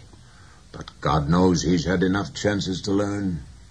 He did not do so badly in the night, though, and he has only cramped once. If he cramps again, let the line cut him off. When he thought that, he knew that he was not being clear-headed, and he thought he should chew some more of the dolphin. But I can't, he told himself. It is better to be light-headed than to lose your strength from nausea. And I know I cannot keep it if I eat it since my face was in it. I will keep it for an emergency until it goes bad. But it is too late to try for strength now through nourishment. You're stupid, he told himself. Eat the other flying fish. It was there, cleaned and ready, and he picked it up with his left hand and ate it, chewing the bones carefully and eating all of it down to the tail. It has more nourishment than almost any fish, he thought. At least the kind of strength that I need. Now I have done what I can, he thought. Let him begin to circle, and let the fight come. The sun was rising for the third time since he had put to sea when the fish started to circle. He could not see by the slant of the line that the fish was circling. It was too early for that. He just felt a faint slackening of the pressure of the line, and he commenced to pull on it gently with his right hand. It tightened, as always, but just when he reached the point where it would break, line began to come in. He slipped his shoulders and head from under the line and began to pull in line, steadily and gently. He used both of his hands in a swinging motion and tried to do the pulling as much as he could with his body and his legs. His old legs and shoulders pivoted with the swinging of the pulling. It is a very big circle, he said, but he is circling. Then the line would not come in any more, and he held it until he saw the drops jumping from it in the sun. Then it started out, and the old man knelt down and let it go, grudgingly back into the dark water. He's making the far part of his circle now, he said. I must hold all I can, he thought. The strain will shorten his circle each time. Perhaps in an hour I will see him. Now I must convince him, and then I must kill him. But the fish kept on circling slowly, and the old man was wet with sweat and tired deep into his bones two hours later. But the circles were much shorter now, and from the way the line slanted, he could tell the fish had risen steadily while he swam. For an hour, the old man had been seeing black spots before his eyes, and the sweat salted his eyes and salted the cut over his eye and on his forehead. He was not afraid of the black spots. They were normal at the tension that he was pulling on the line. Twice, though, he had felt faint and dizzy, and that had worried him. I could not fail myself and die on a fish like this he said. Now that I have him coming so beautifully, God help me endure. I'll say a hundred Our Fathers and a hundred Hail Marys, but I cannot say them now. Consider them said, he thought. I'll say them later. Just then he felt a sudden banging and jerking on the line he held with his two hands. It was sharp and hard feeling and heavy. He's hitting the wire leader with his spear, he thought. That was bound to come. He had to do that. It may make him jump, though. I would rather he stayed circling now. The jumps were necessary for him to take air, but after that each one can widen the opening of the hook wound, and he can throw the hook. Don't jump, fish, he said. Don't jump. The fish hit the wire several times more, and each time he shook his head, the old man gave up a little line. I must hold his pain where it is, he thought. Mine does not matter. I can control mine. But his pain could drive him mad. After a while, the fish stopped beating at the wire and started circling slowly again.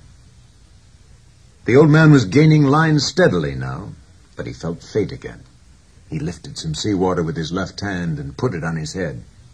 Then he put more on and rubbed the back of his neck. I have no cramps, he said. He'll be up soon, and I can last. He'll have to last. Don't even speak of it. He kneeled against the bow and for a moment slipped the line over his back again. I'll rest now when he goes out in the circle and then stand up and work on him when he comes in, he decided. It was a great temptation to rest in the bow and let the fish make one circle by himself without recovering any line. But when the strain showed the fish had turned to come toward the boat, the old man rose to his feet and started the pivoting and the weaving pulling that brought in all the line he gained. I'm tireder than I have ever been, he thought, and now the trade wind is rising. But that will be good to take him in with. I need that badly. I'll rest on the next turn as he goes out, he said. I feel much better. Then, in two or three turns more, I will have him. His straw hat was far in the back of his head, and he sank down into the bow with a pull of the line as he felt the fish turn. You work now, fish, he thought. I'll take you at the turn. The sea had risen considerably, but it was a fair weather breeze, and he had to have it to get home. I'll just steer south and west, he said. A man is never lost at sea, and it is a long island. It was on the third turn that he saw the fish first. He saw him first as a dark shadow that took so long to pass under the boat that he could not believe its length. No, he said. He can't be that big. But he was that big. And at the end of this circle he came to the surface only thirty yards away, and the man saw his tail out of water. It was higher than a big scythe blade and a very pale lavender above the dark blue water. It raked back, and as the fish swam just below the surface, the old man could see his huge bulk and the purple stripes that banded him. His dorsal fin was down, and his huge pectorals were spread wide. On this circle, the old man could see the fish's eye and the two gray sucking fish that swam around him. Sometimes they attached themselves to him. Sometimes they darted off. Sometimes they would swim easily in his shadow. They were each over three feet long, and when they swam fast, they lashed their whole bodies like eels. The old man was sweating now, but from something else besides the sun. On each calm, placid turn the fish made, he was gaining line, and he was sure that in two turns more he would have a chance to get the harpoon in. But I must get him close, close, close, he thought. I mustn't try for the head, I must get the heart. Be calm and strong, old man, he said. On the next circle, the fish's back was out, but he was a little too far from the boat. On the next circle, he was still too far away, but he was higher out of water, and the old man was sure that by gaining some more line he could have him alongside. He'd rigged his harpoon long before, and its coil of light rope was in a round basket, and the end was made fast to the bitt in the bow. The fish was coming in on his circle now, calm and beautiful looking, and only his great tail moving. The old man pulled on him all that he could to bring him closer. For just a moment, the fish turned a little on his side. Then he straightened himself and began another circle. I moved him, the old man said. I moved him then. He felt faint again now, but he held on the great fish all the strain that he could. I moved him, he thought. Maybe this time I can get him over. Pull hands, he thought. Hold up, legs. Last for me, head last for me. You never went. This time I'll pull him over. But when he put all of his effort on, starting it well out before the fish came alongside and pulling with all his strength, the fish pulled part way over and then righted himself and swam away. Fish, the old man said. Fish, you're going to have to die anyway. You have to kill me, too. That way nothing is accomplished, he thought. His mouth was too dry to speak, but he could not reach for the water now. I must get him alongside this time, he thought. I'm not good for many more turns. Yes, you are, he told himself. You're good forever.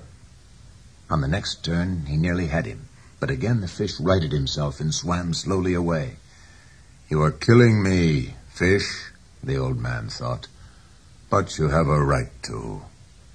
Never have I seen a greater or more beautiful or a calmer or more noble thing than you, brother. Come on and kill me. I do not care who kills who. Now, you're getting confused in the head, he thought. You must keep your head clear. Keep your head clear and know how to suffer like a man. Or a fish, he thought. Clear up, head, he said in a voice he could hardly hear. Clear up. Twice more it was the same on the turns.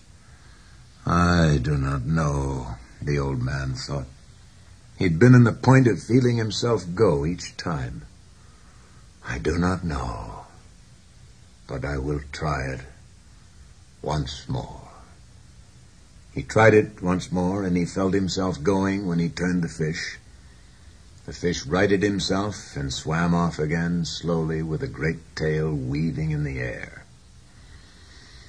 I'll try it again, the old man promised although his hands were mushy now, and he could only see well in flashes. He tried it again, and it was the same. So he thought, and he felt himself going before he started. I will try it once again. He took all his pain and what was left of his strength and his long gone pride, and he put it against the fish's agony, and the fish came over onto his side and swam gently on his side, his bill almost touching the planking of the skiff, and started to pass the boat, long, deep, wide, silver, and barred with purple, and interminable in the water. The old man dropped the line and put his foot on it and lifted the harpoon as high as he could and drove it down with all his strength and more strength he had just summoned into the fish's side just behind the great chest fin that rose high in the air to the altitude of the man's chest. He felt the iron go in and he leaned on it and drove it further and then pushed all his weight after it. Then the fish came alive with his death in him and rose high out of the water, showing all his great length and width and all his power and his beauty. He seemed to hang in the air above the old man in the skiff. Then he fell into the water with a crash that sent spray over the old man and over all of the skiff. The old man felt faint and sick, and he could not see well, but he cleared the harpoon line and let it run slowly through his raw hands. And when he could see, he saw the fish was on his back with his silver belly up. The shaft of the harpoon was projecting at an angle from the fish's shoulder, and the sea was discoloring with the red of the blood from his heart. First it was dark as a shoal in the blue water that was more than a mile deep. Then it spread like a cloud the fish was silvery and still and floated with the waves. The old man looked carefully in the glimpse of vision that he had.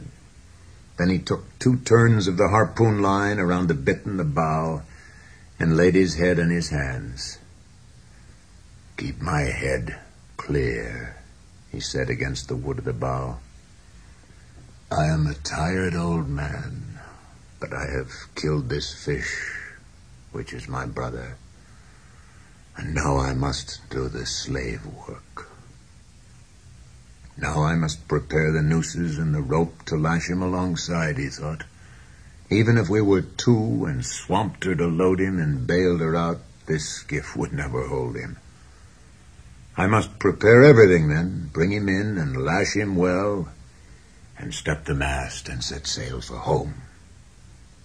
He started to pull the fish in to have him alongside so that he could pass a line through his gills and out his mouth and make his head fast alongside the bow.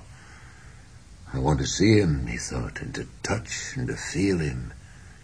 He is my fortune, he thought. But that's not why I wish to feel him. I think I felt his heart he thought.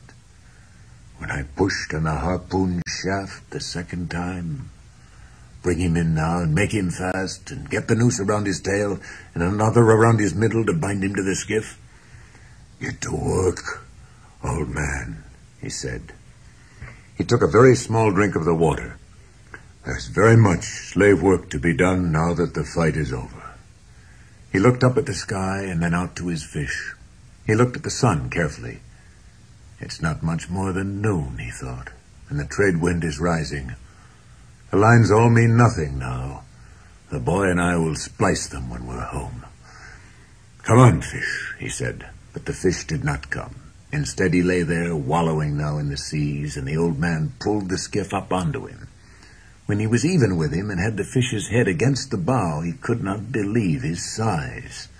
But he untied the harpoon rope from the bitt, passed it through the fish's gills and out his jaws, made a turn around his sword, then passed the rope through the other gill, made another turn around the bill, and knotted the double rope and made it fast to the bitt in the bow. He cut the rope then and went astern to noose the tail. The fish had turned silver from his original purple and silver, and the stripes showed the same pale violet color as his tail. They were wider than a man's hand with his fingers spread, and the fish's eye looked as detached as the mirrors in a periscope, or as a saint in a procession. It was the only way to kill him, the old man said. He was feeling better since the water, and he knew he would not go away, and his head was clear. He's over fifteen hundred pounds, the way he is, he thought. Maybe much more. If he dresses out two-thirds of that at thirty cents a pound. I need a pencil for that, he said. My head is not that clear, but I think the great DiMaggio would be proud of me today. I had no bone spurs, but the hands and the back hurt, truly. I wonder what a bone spur is, he thought. Maybe we have them without knowing of it. He made the fish fast to bow and stern and to the middle thwart. He was so big it was like lashing a much bigger skiff alongside. He cut a piece of line and tied the fish's lower jaw against his bill so his mouth would not open, and they would sail as cleanly as possible. Then he stepped the mast, and with the stick that was his gaff, and with his boom rigged, the patched sail drew, the boat began to move, and half lying in the stern, he sailed southwest. He did not need a compass to tell him where southwest was. He only needed the feel of the trade wind and the drawing of the sail. I'd better put a small line out with a spoon on it and try and get something to eat and drink for the moisture.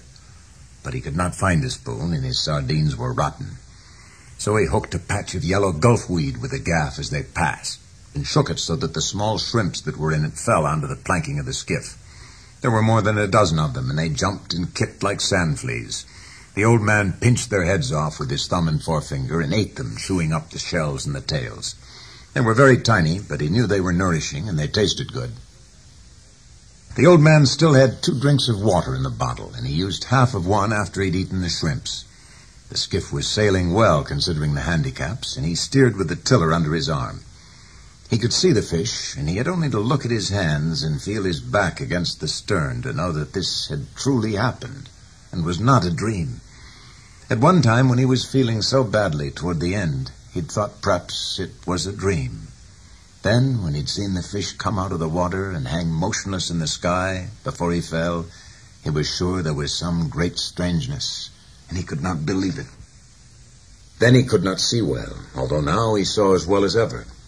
Now he knew there was the fish, and his hands and back were no dream. The hands cure quickly, he thought. I bled them clean, and the salt water will heal them. The dark water of the true gulf is the greatest healer that there is. All I must do is keep the head clear. The hands have done their work, and we sail well. With his mouth shut and his tail straight up and down, we sail like brothers. Then his head started to become a little unclear, and he thought, is he bringing me in, or am I bringing him in? If I were towing him behind, there would be no question. Nor if the fish were in the skiff with all dignity gone, there would be no question either. But they were sailing together, lashed side by side, and the old man thought, let him bring me in, if it pleases him. I am only better than him through trickery, and he meant me no harm. They sailed well, and the old man soaked his hands in the salt water and tried to keep his head clear. There were high cumulus clouds and enough cirrus above them so that the old man knew the breeze would last all night. The old man looked at the fish constantly to make sure it was true. It was an hour before the first shark hit him. The shark was not an accident. He'd come up from deep down in the water as the dark cloud of blood had settled and dispersed in the mile deep sea. He'd come up so fast and absolutely without caution that he broke the surface of the blue water and was in the sun. Then he fell back into the sea and picked up the scent and started swimming on the course the skiff and the fish had taken. Sometimes he lost the scent, but he would pick it up again or have just a trace of it, and he swam fast and hard on the course. He was a very big mako shark, built to swim as fast as the fastest fish in the sea, and everything about him was beautiful except his jaws. His back was as blue as a swordfish's, and his belly was silver, and his hide was smooth and handsome. He was built as a swordfish, except for his huge jaws, which were tight shut now as he swam fast, just under the surface, with his high dorsal fin knifing through the water without wavering. Inside the closed double lip of his jaws, all of his eight rows of teeth were slanted inwards. They were not the ordinary pyramid-shaped teeth of most sharks. They were shaped like a man's fingers when they are crisped like claws. They were nearly as long as the fingers of the old man, and they had razor-sharp cutting edges on both sides. This was a fish built to feed on all the fishes in the sea that were so fast and strong and well armed that they had no other enemy. Now he speeded up as he smelled the fresher scent, and his blue dorsal fin cut the water. When the old man saw him coming, he knew that this was a shark that had no fear at all and would do exactly what he wished. He prepared the harpoon and made the rope fast while he watched the shark come on. The rope was short, as it lacked what he'd cut away to lash the fish. The old man's head was clear and good now, and he was full of resolution, but he had little hope. It was too good to last, he thought. He took one look at the great fish as he watched the shark close in. It might as well have been a dream, he thought. I cannot keep him from hitting me, but maybe I can get him. Dentuso, he thought. Bad luck to your mother. The shark closed fast astern, and when he hit the fish, the old man saw his mouth open and his strange eyes and the clicking chomp of the teeth as he drove forward in the meat just above the tail. The shark's head was out of water and his back was coming out, and the old man could hear the noise of skin and flesh ripping on the big fish when he rammed the harpoon down onto the shark's head at a spot where the line between his eyes intersected with the line that ran straight back from his nose. There were no such lines. There was only the heavy, sharp blue head and the big eyes and the clicking, thrusting, all-swallowing jaws. But that was the location of the brain, and the old man hit it. He hit it with his blood-mushed hands, driving a good harpoon with all his strength. He hit it without hope, but with resolution and complete malignancy. The shark swung over, and the old man saw his eye was not alive. And then he swung over once again, wrapping himself in two loops of the rope. The old man knew that he was dead, but the shark would not accept it. Then, on his back, with his tail lashing and his jaws clicking, the shark plowed over the water as a speedboat does. The water was white where his tail beat it, and three quarters of his body was clear above the water when the rope came taut, shivered, and then snapped. The shark lay quietly for a little while on the surface, and the old man watched him. Then he went down, very slowly. He took about forty pounds, the old man said aloud. He took my harpoon, too, and all the rope, he thought, and now my fish bleeds again, and there will be others. He did not like to look at the fish any more since he'd been mutilated. When the fish had been hit, it was as though he himself were hit. But I killed the shark that hit my fish, he thought, and he was the biggest dentuso that I have ever seen, and God knows that I have seen big ones. It was too good to last, he thought. I wish it had been a dream now, and that I'd never hooked the fish and was alone in bed on the newspapers. But man is not made for defeat, he said. A man can be destroyed, but not defeated. I'm sorry that I killed the fish, though, he thought. Now the bad time is coming, and I do not even have the harpoon. The Dentuso is cruel and able and strong and intelligent, but I was more intelligent than he was. Perhaps not, he thought. Perhaps I was only better armed. Don't think, old man, he said aloud. Sail on this course and take it when it comes. But I must think, he thought, because it is all I have left. That and baseball. I wonder how the great DiMaggio would have liked the way I hit him in the brain. That was no great thing, he thought. Any man could do it. But do you think my hands were as great a handicap as the bone spurs? I cannot know. I never had anything wrong with my heel except the time the stingray stung it, when I stepped on him when swimming, and paralyzed the lower leg and made the unbearable pain. Think about something cheerful, old man, he said. Every minute now you are closer to home, you sail lighter for the loss of forty pounds. He knew quite well the pattern of what could happen when he reached the inner part of the current, but there was nothing to be done now. Yes, there is, he said aloud. I can lash my knife to the butt of one of the oars. So he did that, with the tiller under his arm and the sheet of the sail under his foot. No, he said, I am still an old man, but I am not unarmed. The breeze was fresh now, and he sailed on well. He watched only the forward part of the fish, and some of his hope returned. It is silly not to hope, he thought. Besides, I believe it is a sin. Do not think about sin, he thought. There are enough problems now without sin. Also, I have no understanding of it. I have no understanding of it, and I am not sure that I believe in it. Perhaps it was a sin to kill the fish. I suppose it was, even though I did it to keep me alive and feed many people, but then everything is a sin. Do not think about sin. It is much too late for that. And there are people who are paid to do it. Let them think about it. You were born to be a fisherman, as the fish was born to be a fish. San Pedro was a fisherman, as was the father of the great DiMaggio. But he liked to think about all things that he was involved in, and since there was nothing to read and he did not have a radio, he thought much, and he kept on thinking about sin. You did not kill the fish only to keep alive and to sell for food, he thought. You killed him for pride and because you are a fisherman. You loved him when he was alive and you loved him after. If you love him, it is not a sin to kill him. Or is it more? You think too much, old man, he said aloud. But you enjoyed killing the dentuso, he thought. He lives on the live fish, as you do. He is not a scavenger, nor just a moving appetite, as some sharks are. He is beautiful and noble and knows no fear of anything. I killed him in self-defense, the old man said aloud. And I killed him well. Besides, he thought, everything kills everything else in some way. Fishing kills me exactly as it keeps me alive. The boy keeps me alive, he thought. I must not deceive myself too much. He leaned over the side and pulled loose a piece of the meat of the fish where the shark had cut him.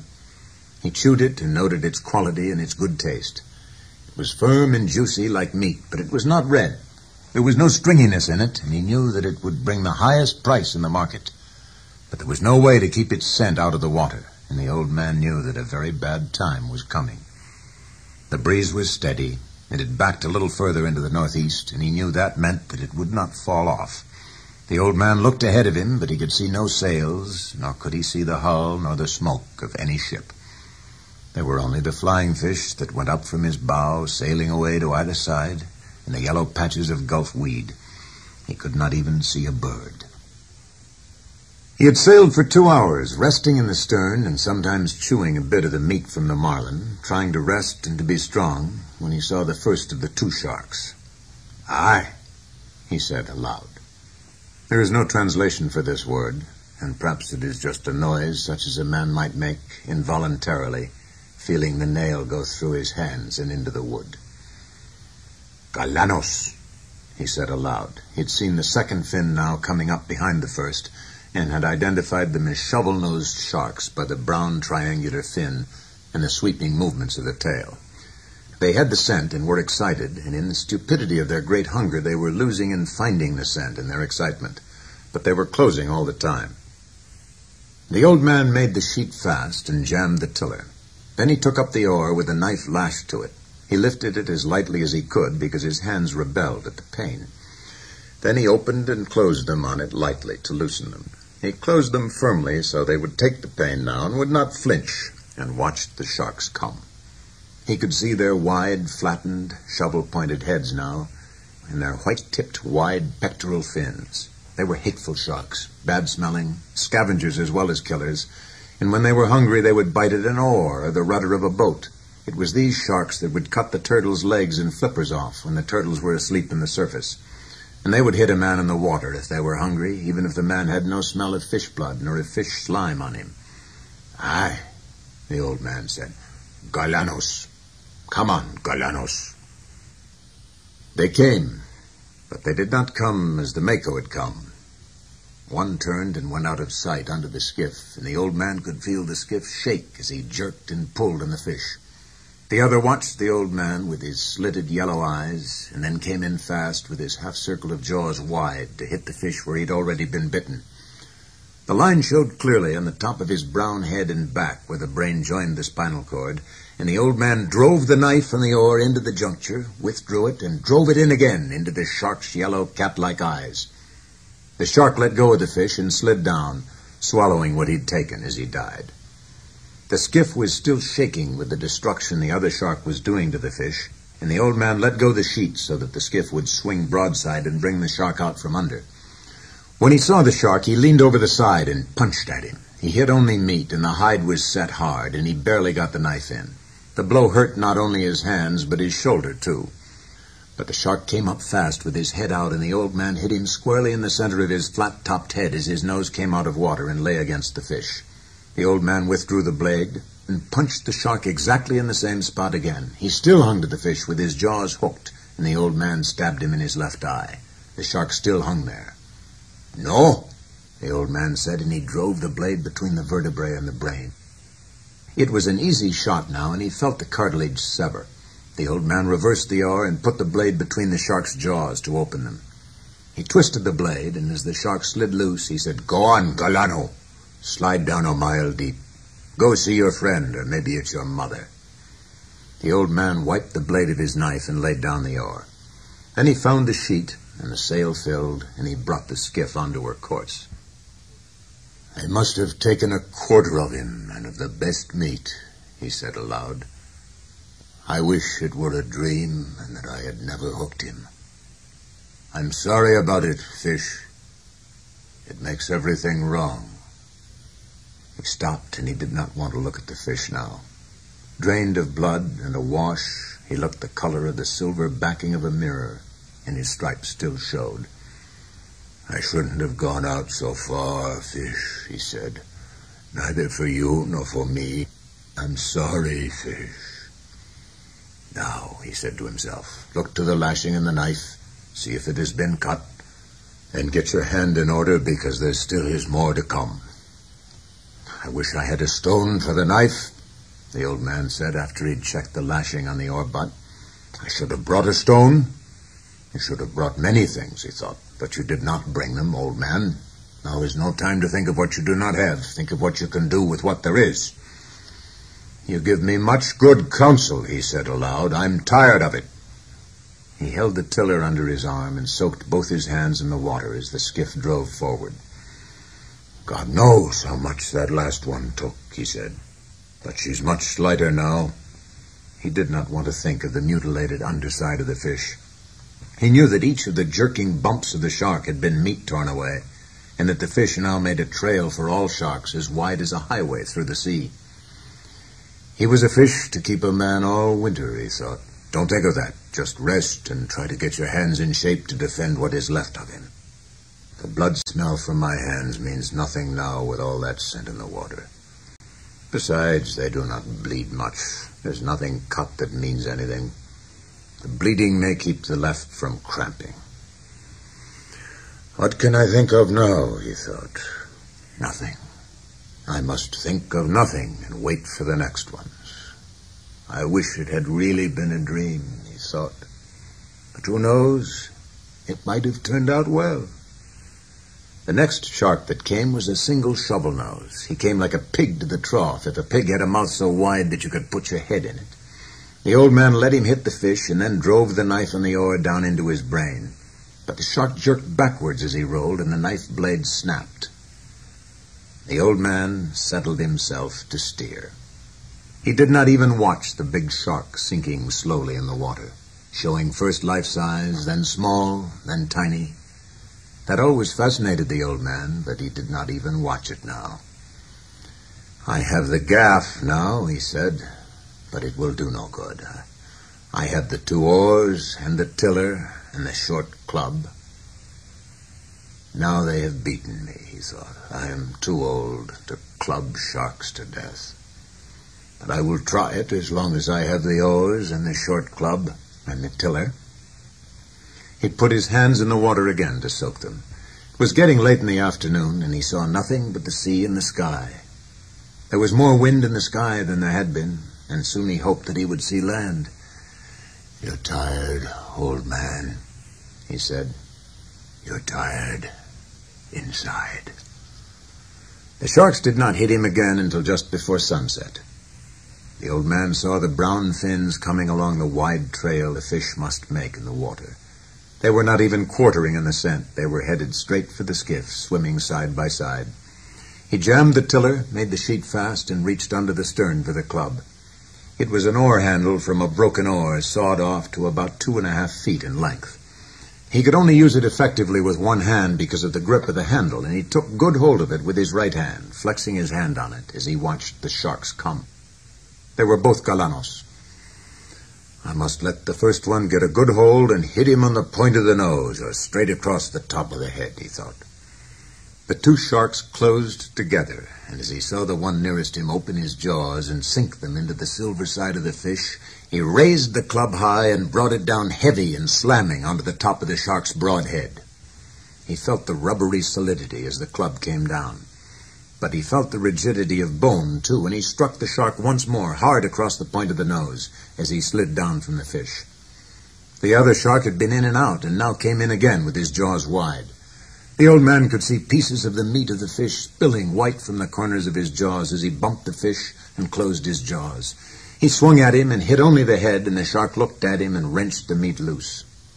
The old man swung the club down on him again as he slipped away to swallow and hit only the heavy, solid rubberiness. Come on, Galano, the old man said. Come in again.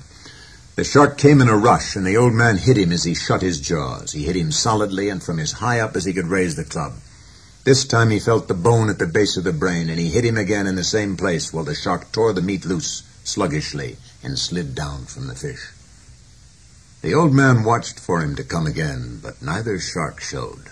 Then he saw one on the surface, swimming in circles. He did not see the fin of the other. I could not expect to kill them, he thought. I could have in my time, but I've hurt them both badly, and neither one can feel very good. If I could have used a bat with two hands, I could have killed the first one, surely. Even now, he thought. He did not want to look at the fish. He knew that half of him had been destroyed. The sun had gone down while he'd been in the fight with the sharks. It'll be dark soon, he said. Then I should see the glow of Havana. If I'm too far to the eastward, I will see the lights of one of the new beaches. I cannot be too far out now, he thought. I hope no one has been too worried. There's only the boy to worry, of course, but I'm sure he would have confidence. Many of the older fishermen will worry. Many others, too, he thought. I live in a good town.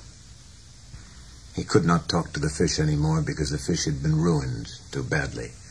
Then something came into his head. Half fish, he said. Fish that you were, I am sorry that I went too far out. I ruined us both. But we have killed many sharks, you and I, and ruined many others. How many did you ever kill, old fish? You do not have that spear in your head for nothing. He liked to think of the fish and what he could do to a shark if he were swimming free. I should have chopped the bill off to fight them with, he thought. But there was no hatchet, and then there was no knife. But if I had and could have lashed it to an oar butt, what a weapon! Then we might have fought them together. What will you do now if they come in the night? What can you do? Fight them, he said. I'll fight them until I die. But in the dark now, and no glow showing, and no lights, and only the wind, and the steady pull of the sail, he felt that perhaps he was already dead. He put his two hands together and felt the palms. They were not dead, and he could bring the pain of life by simply opening and closing them. He leaned his back against the stern and knew he was not dead. His shoulders told him. I have all those prayers I promised if I caught the fish, he thought. But I'm too tired to say them now. I'd better get the sack and put it over my shoulders. He lay in the stern and steered and watched for the glow to come in the sky. I have half of him, he thought. Maybe I'll have the luck to bring the forward half in. I should have some luck. No, he said, you violated your luck when you went too far outside. Don't be silly, he said aloud, and keep awake and steer. You may have much luck yet. I'd like to buy some if there's any place they sell it, he said. What could I buy it with? he asked himself. Could I buy it with a lost harpoon and a broken knife and two bad hands? You might, he said. You tried to buy it with 84 days at sea. They nearly sold it to you, too. I must not think nonsense, he thought. Luck is a thing that comes in many forms, and who can recognize her? I would take some now in any form and pay what they asked. I wish I could see the glow from the lights, he thought. I wish too many things. But that is the thing I wish for now. He tried to settle more comfortably to steer, and from his pain he knew he was not dead. He saw the reflected glare of the lights of the city at what must have been around ten o'clock at night. They were only perceptible at first, as the light is in the sky before the moon rises. Then they were steady to see across the ocean, which was rough now with the increasing breeze. He steered inside of the glow, and he thought that now soon he must hit the edge of the stream. Now it is over, he thought. They will probably hit me again. But what can a man do against them in the dark without a weapon? He was stiff and sore now, and his wounds and all of the strained parts of his body hurt with the cold of the night. I hope I do not have to fight again, he thought. I hope so much. I do not have to fight again. But by midnight he fought, and this time he knew the fight was useless. They came in a pack, and he could only see the lines in the water that their fins made, and their phosphorescence as they threw themselves in the fish. He clubbed at heads and heard the jaws chop and the shaking of the skiff as they took hold below. He clubbed desperately at what he could only feel and hear, and he felt something seize the club, and it was gone. He jerked the tiller free from the rudder and beat and chopped with it, holding it in both hands and driving it down again and again. But they were up to the bow now and driving in one after the other and together, tearing off the pieces of meat that showed glowing below the sea as they turned to come once more. One came finally against the head itself, and he knew that it was over. He swung the tiller across the shark's head where the jaws were caught in the heaviness of the fish's head, which would not tear. He swung it once and twice and again. He heard the tiller break, and he lunged at the shark with a splintered butt. He felt it go in, and knowing it was sharp, he drove it in again. The shark let go and rolled away. That was the last shark of the pack that came. There was nothing more for them to eat. The old man could hardly breathe now, and he felt a strange taste in his mouth. It was coppery and sweet, and he was afraid of it for a moment, but there was not much of it. He spat into the ocean and said, Eat that, Galanos, and make a dream you've killed a man. He knew he was beaten now finally and without remedy, and he went back to the stern and found the jagged end of the tiller would fit in the slot of the rudder well enough for him to steer. He settled the sack around his shoulders and put the skiff on her course. He sailed lightly now, and he had no thoughts nor any feelings of any kind. He was past everything now, and he sailed the skiff to make his home port as well and as intelligently as he could. In the night, sharks hit the carcass as someone might pick up crumbs from the table. The old man paid no attention to them, and did not pay any attention to anything except steering.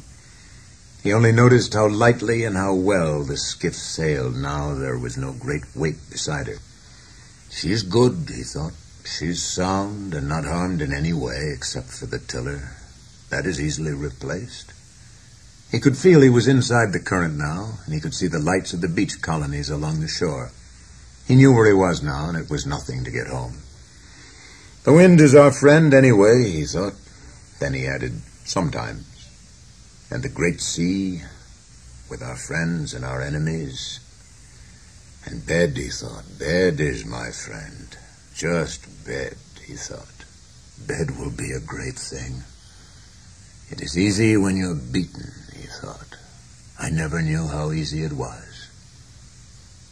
And what beat you? he thought. Nothing, he said aloud. I went out too far. When he sailed into the little harbor, the lights of the terrace were out, and he knew everyone was in bed. The breeze had risen steadily and was blowing strongly now. It was quiet in the harbor, though, and he sailed up onto the little patch of shingle below the rocks. There was no one to help him, so he pulled the boat up as far as he could. and he stepped out and made her fast to a rock. He unstepped the mast and furled the sail and tied it. Then he shouldered the mast and started to climb. It was then he knew the depth of his tiredness. He stopped for a moment and looked back and saw in the reflection from the streetlight the great tail of the fish standing up well behind the skiff's stern. He saw the white naked line of his backbone and the dark mass of the head with the projecting bill and all the nakedness between. He started to climb again, and at the top he fell and lay for some time with the mast across his shoulder. He tried to get up, but it was too difficult, and he sat there with the mast on his shoulder and looked at the road. A cat passed on the far side, going about its business, and the old man watched it. Then he just watched the road. Finally, he put the mast down and stood up. He picked the mast up and put it on his shoulder and started up the road. He had to sit down five times before he reached his shack. Inside the shack, he leaned the mast against the wall. In the dark, he found a water bottle and took a drink. Then he lay down in the bed. He pulled the blanket over his shoulders and then over his back and legs, and he slept face down in the newspapers with his arms out straight and the palms of his hands up. He was asleep when a boy looked in the door in the morning. It was blowing so hard that the drifting boats would not be going out, and the boy had slept late, and then come to the old man's shack as he had come each morning. The boy saw that the old man was breathing, and then he saw the old man's hands, and he started to cry. He went out very quietly to go to bring some coffee, and all the way down the road he was crying. Many fishermen were around the skiff looking at what was lashed beside it, and one was in the water, his trousers rolled up, measuring the skeleton with the length of line. The boy did not go down.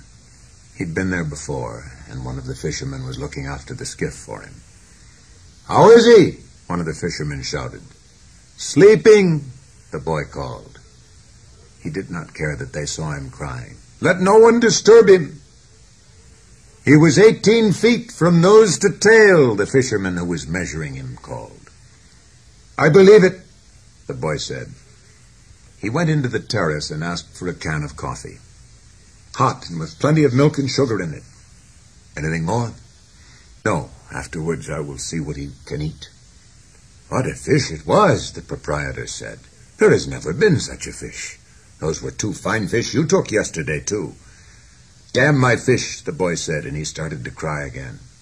Do you want a drink of any kind? the proprietor asked. No, the boy said. Tell them not to bother Santiago. I'll be back. Tell him how sorry I am. Thanks, the boy said. The boy carried the hot can of coffee up to the old man's shack and sat by him until he woke. Once it looked as though he were waking, but he'd gone back into heavy sleep, and the boy had gone across the road to borrow some wood to heat the coffee. Finally, the old man woke. Don't sit up, the boy said. Drink this. He poured some of the coffee in a glass. The old man took it and drank it. They beat me, Manolin, he said. They truly beat me. He didn't beat you, not the fish. No, truly. It was afterwards. Pedrico's was looking after the skiff and the gear. What do you want done with the head? Let Pedrico chop it up to use in fish traps. And the spear? You keep it if you want it. I want it, the boy said. Now we must make our plans about the other things. Did they search for me? Of course, with Coast Guard and with planes. The ocean is very big, and his skiff is small and hard to see, the old man said. He noticed how pleasant it was to have someone to talk to instead of speaking only to himself and to the sea. I missed you, he said. What did you catch? One the first day, one the second, and two the third. Very good. Now we fish together again. No. I am not lucky. I am not lucky anymore. Hell with luck, the boy said. I'll bring the luck with me. What will your family say? I do not care. I caught two yesterday, but we will fish together now, for I still have much to learn. We must get a good killing lance and always have it on board. You can make the blade from a spring leaf from an old ford. We can grind it in Guanabacoa. It should be sharp and not tempered so it will break. My knife broke. I'll get another knife and have the spring ground. How many days of heavy brisa have we? Hmm, maybe three, maybe more. I will have everything in order, the boy said. You get your hands well, old man. I know how to care for them. In the night I spat something strange and felt something in my chest was broken. Get that well, too, the boy said. Lie down, old man, and I will bring you your clean shirt and something to eat. Bring any of the papers of the time that I was gone, the old man said. You must get well fast, for there's much that I can learn, and you can teach me everything. How much did you suffer? Plenty, the old man said. I'll bring the food in the papers, the boy said. Rest well, old man. I'll bring stuff from the drugstore for your hands. Don't forget to tell Pedrico the head is his. No, I, I will remember. As the boy went out the door and down the worn coral rock road, he was crying again. That afternoon there was a party of tourists at the terrace, and looking down on the water among the empty beer cans and dead barracudas, a woman saw a great long white spine with a huge tail at the end that lifted and swung with the tide while the east wind blew a heavy, steady sea outside the entrance to the harbor. What's that? she asked a waiter and pointed to the long backbone of the great fish that was now just garbage waiting to go out with the tide. Tiburon, the waiter said. He's shark. He was meaning to explain what had happened. I didn't know sharks had such handsome, beautifully formed tails. I didn't either, her male companion said. Up the road in his shack, the old man was sleeping again. He was still sleeping on his face, and the boy was sitting by him, watching him. The old man was dreaming about the lion.